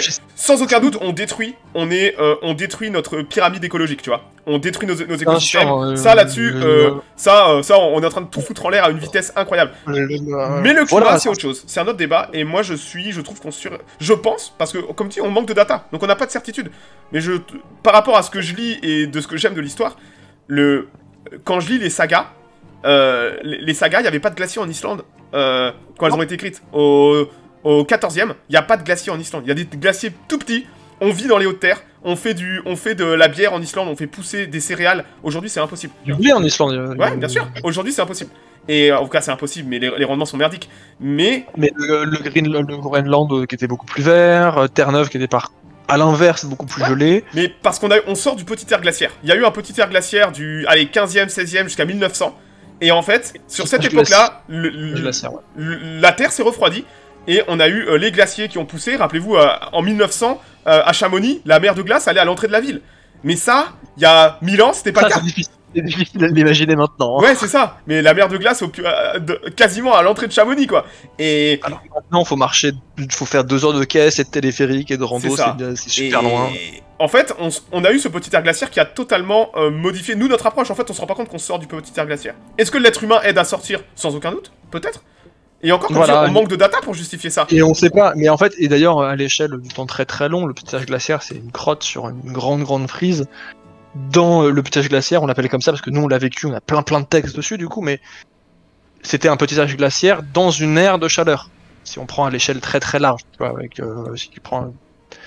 Et est-ce que ça va être euh, les rendements de céréales étaient merdiques avant le 19e en Europe aussi, PP, mais ça n'a rien à voir uniquement avec le climat. C'est plein de paramètres qui rentrent en compte. hein, Ouais, il y, a- y aussi la, la, la technique, mais hein, Ouais, la en technique, Islande, aujourd'hui, euh, en, en- en Islande, les gens ne font pas aujourd'hui de. Ils, ont, ils amènent des espèces particulières en Islande qui poussent mieux. Et même avec ces espèces, c'est pas rentable. Donc les fermiers le font pas. Par contre, on sait qu'il y a, il y a 1000 ans, ils en faisaient. Genre, ils en faisaient systématiquement. Ils faisaient euh, du malt, ils faisaient même de la bière. Euh, on sait qu'il y avait de la bière islandaise dans, dans, dans- dans les sagas, ils en parlent. Ce qui aujourd'hui n'est pas possible. Tu peux pas faire pousser euh, aujourd'hui de, Non, non, bien de- de sûr. l'avoine en Mais C'est des raisons qui sont, qui sont des raisons de Climatiques. pour des raisons de climatiques. simplement de- climat. Le climat était de, voilà. 2-3 degrés plus chaud euh, dans l'hémisphère nord il y a- Voilà. il y, a 1000 ans. C'est comme ça. Il y a mille ans. Mais euh, parce que c'est un- on vit un optimum climatique depuis depuis le néolithique en fait. Globalement, depuis la fin du Doggerland en fait. Enfin, depuis, le, depuis la fin des glaciers du Doggerland. Et c'est pas dire parce que ça veut pas dire qu'il faisait plus froid il y a 500 ans, ça veut pas dire que c'était un. Dans le petit âge glaciaire, il est dans une grande période chaude. C'est une anomalie. Le, le- le- en fait, le, une- ouais, le, le petit air glaciaire est une anomalie euh, de 400 ans, 500 ans, et là on, on- Dans on est en train d'en sortir. Dans une, voilà, dans une période d'optimum climatique beaucoup plus longue en fait. Ouais. Et la question c'est de savoir, en théorie, si on suit le modèle actuel avec euh, les géologues machin et tout, c'est censé faire des alternances, euh, en gros, grande période d'optimum climatique, grande période de glaciation. Et en théorie, on devrait s'approcher vers tendre doucement. hein, attention, hein, c'est pas brutal à chaque fois. Hein, c'est pas euh, le 20 il fait chaud et le 21 il fait froid. Hein, vers euh, vers une période dite de glaciation. Or, la courbe ne le montre pas. Alors, est-ce que les modèles sont faux? C'est possible. Est-ce que c'est une période d'optimum climatique plus longue? Est-ce que c'est la faute des humains? On sait pas en fait. On- ouais, c'est juste on, on qu'on a manque, on, on de- manque de données, sans aucun doute. On, manque, de données. On parle de, de choses où euh, le- en- le- cette discipline-là, en fait, de géologie, un million d'années, c'est pas, grand-chose au final. C'est ça, à l'échelle géologique. euh, On parle à l'échelle géologique. Donc en fait, en termes de pensée humaine, c'est euh... c'est infaisable. Déjà qu'on a du mal à, à se rendre compte que ça fait 8000 ans qu'on écrit et euh, 12 000 qu'on élève des vaches, parce que ça fait c'est quand même beaucoup 12 000 ans. Bah, euh, rien. un, mi- un million d'années, euh, c'est compliqué. C'est tout, c'est juste ça, c'est juste on a c'est des trucs qui dépassent l'esprit humain en fait. C'est comme euh, l'espace avec les distances spatiales, c'est euh, ça Ouais. fait 100 millions d'années-lumière. Ce que j'en ai à foutre moi, genre j'aime Pour faire ça, un petit peu, ce que j'essaie de te dire, c'est qu'on n'a pas fait pousser de céréales en Islande pendant quasiment 500 ans. On pouvait pas. Aujourd'hui, on le fait parce qu'on a des espèces particulières. Pendant 500 ans, ils ont pas fait pousser de céréales à cause. Bah, le, le climat était trop mauvais, trop froid. Par contre, il y a 1000 ans, ils arrivaient à en faire pousser. Parce qu'on a les preuves écrites qu'ils le faisaient. Après, Oui, ça oui. s'est totalement perdu, ils ont totalement arrêté, ils sont passés entièrement sur du mouton, mouton, pêche, cheval. C'est tout. Oh, je- Et je c'est que récemment qui qu'ils ont commencé à euh, faire. Non, il faut des bananes en plus. Bon, bon, Ouais, mais parce que là, à l'époque, ils avaient pas l'eau chaude et l'électricité. Aujourd'hui, on fait, ils font pousser n'importe quoi en Islande. Mais je bon, ça, c'est un, autre, c'est un autre débat. Bon, on va s'arrêter là? Bah ouais. Et voilà, euh, bah, comme voilà. d'hab, euh, comme d'hab, hein, si vous avez des, des questions, euh, n'hésitez pas sur le Discord, je suis là. Ouais, et puis venez nous insulter aussi sur les. Ouais, voilà. Et désolé pour le, le passage en double, il fallait que j'aille enculer mon chat et j'avais décroché mon casque. Putain, mais. non, mais ça faisait très longtemps que je m'étais pas fait insulter d'enculer euh, à cause du son en double. Non, mais à chaque que- fois, à chaque fois que je gueule, j'aime bien m'entendre euh, en double en fait. Non, mais c'est pour. Ça faisait longtemps, c'était juste. pour le cycle, quoi. Voilà. Bon, on va s'arrêter là. Merci Skyros pour la petite présentation. Bah, de rien. Les, les, les De rien. magnifiques. Euh, j'ai pas d'idée pour la prochaine. Alors, de toute mais façon, je ne normalement, suis, je, je suis même pas vendredi sûr. Oh, quoi que si, je serai là. Je serai là. Non, non, c'est bon. Normalement, je. Bah, euh, moi, j'ai pas encore bossé de mon truc. Euh, bon, on en rediscute tranquille. Ouais, ouais, tu, me- tu me diras. Déjà, c'était dispo et puis, euh, et puis basta. Ah, le vendredi, euh, je serai dispo normalement la semaine pro. Je suis tout seul chez moi. euh, je suis aussi joué avec Darfish en plus sur CK3. Allez, Non, mais. Ziglo, ils, ils y arrivaient pas. Ils arrivaient pas à faire de blé. Genre, com- comprends pas. euh, comprends-moi. Ils ne pouvaient plus. faire de blé. Oh, mais Oh, on on- t'offre on Oh, t'offre des subs. hein. princes. Tu viens, Merci. tu viens, me- tu viens mendier des subs euh, en voilà. Mais alors, au moins, je les mendie pas sur le chat comme certains. hein, euh, je, je produis un contenu. Pour faire simple, Ziglo, dis-toi que les, les glaciers ont augmenté de taille et ont, ont détruisé des villages et des fermes entières. Euh, genre, c'est c'est- c'est- c'est- c'est totalement Il dingue. froid, puis il y a du vent avec, euh, avec plein de sel. L'Islande, l'Islande qu'on Il connaît, n'y a des- pas assez d'Islandais pour, pour cultiver, pour cultiver parce que ça prend plein de, ça nécessite de la main d'œuvre à organiser. Enfin, c'est un l'Islande qu'on lit du 12e siècle euh, n'a rien à voir avec l'Islande, euh, genre de 300-400 ans plus tard, à cause du climat et de, du petit air glaciaire, qui a totalement changé la façon de vivre. Bah ouais, vous pouvez plus, faire- plus faire pousser de céréales, bah vous, vous vous adaptez, hein. Euh, faut bien continuer à vivre. oui, oui. Mais euh, tu- je sais pas si je me suis. C'est pas une question de rendement, c'est une question que les mecs pouvaient même plus, tout simplement. Ils pouvaient plus. Euh, euh, l'agriculture avec des rendements de merde, tout le monde le faisait quand c'était possible. Par contre, attention, à- j'ai vu euh, Groenland, terre verte. Non, le Groenland n'a jamais été une terre verte. Ça, c'est un mythe. C'est Eric le Rouge qui a nommé ça terre verte pour la concurrencer, pub. Pour faire de Pour la faire pub. de la pub, il fallait faire, faire venir Voilà. des colons chez Les lui et colons pas chez ses norvégiens, les colons norvégiens allaient être plus enclins à aller sur la terre qui s'appelait terre verte que Iceland, terre de glace. Donc en Sur le fait, guide de voyage, t'as marqué terre de paradis où coule le miel et le lait et c'est faux. Le. Tu vas vers terre de paradis où coule le miel et le lait, alors que tu t'atterris au Groenland où tu bouffes du phoque, quoi. Le Groenland était une terre extrêmement difficile à vivre, pas facile à cultiver, et les hivers étaient extrêmement rudes.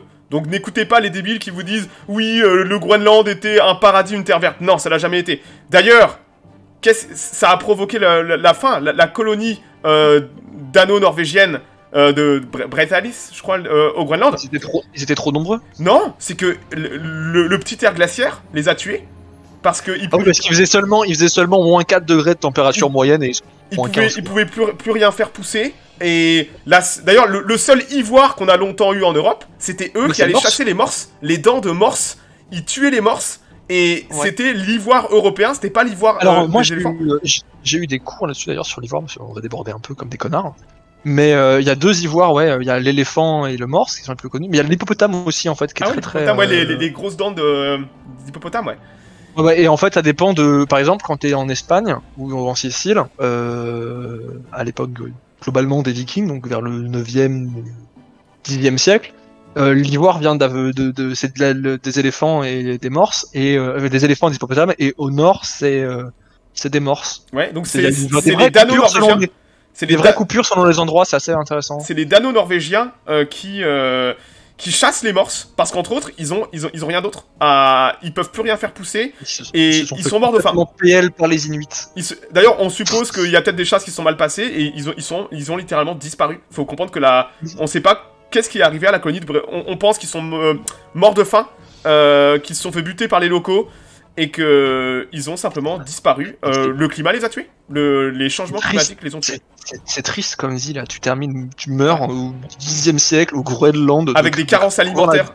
Avec des carences alimentaires énormes. Je crois que c'est euh, le, le 15e siècle. Les, les 14e siècle, je crois, les dernières traces. jusqu'au 14, ils sont restés jusqu'au 14e. La- Ah mais ils ont ils pouvaient plus partir. Ils Eh, pas les glaces, les glaces les ont empêchés de Ah ils partir étaient aussi. prisonniers. Ouais, Ah, les, c'est- les, les glaces pour les, les ah, empêcher mais de partir. terrible, hein. Et la- la- les colonies ont disparu. Et sur les cadavres qu'on a trouvés, euh, c'est simplement des os. euh, les mecs étaient atrophiés.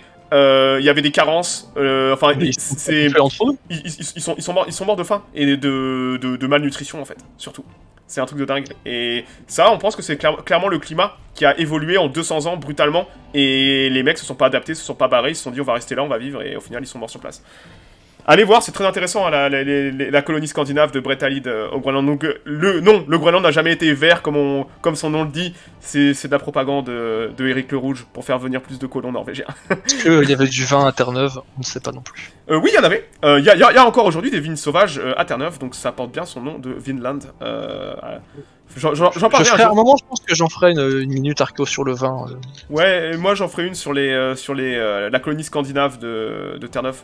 J'ai un excellent bouquin dessus que Glaps m'a filé, The Vinland, The Vinland, bah, the, The Vinland Saga. Les, Pas l'affreux manga, pas Oui. l'affreux manga Vinland Saga. Oh, il est, il est. Je crois que le manga est bien mieux que l'animé, mais j'aime bien l'animé.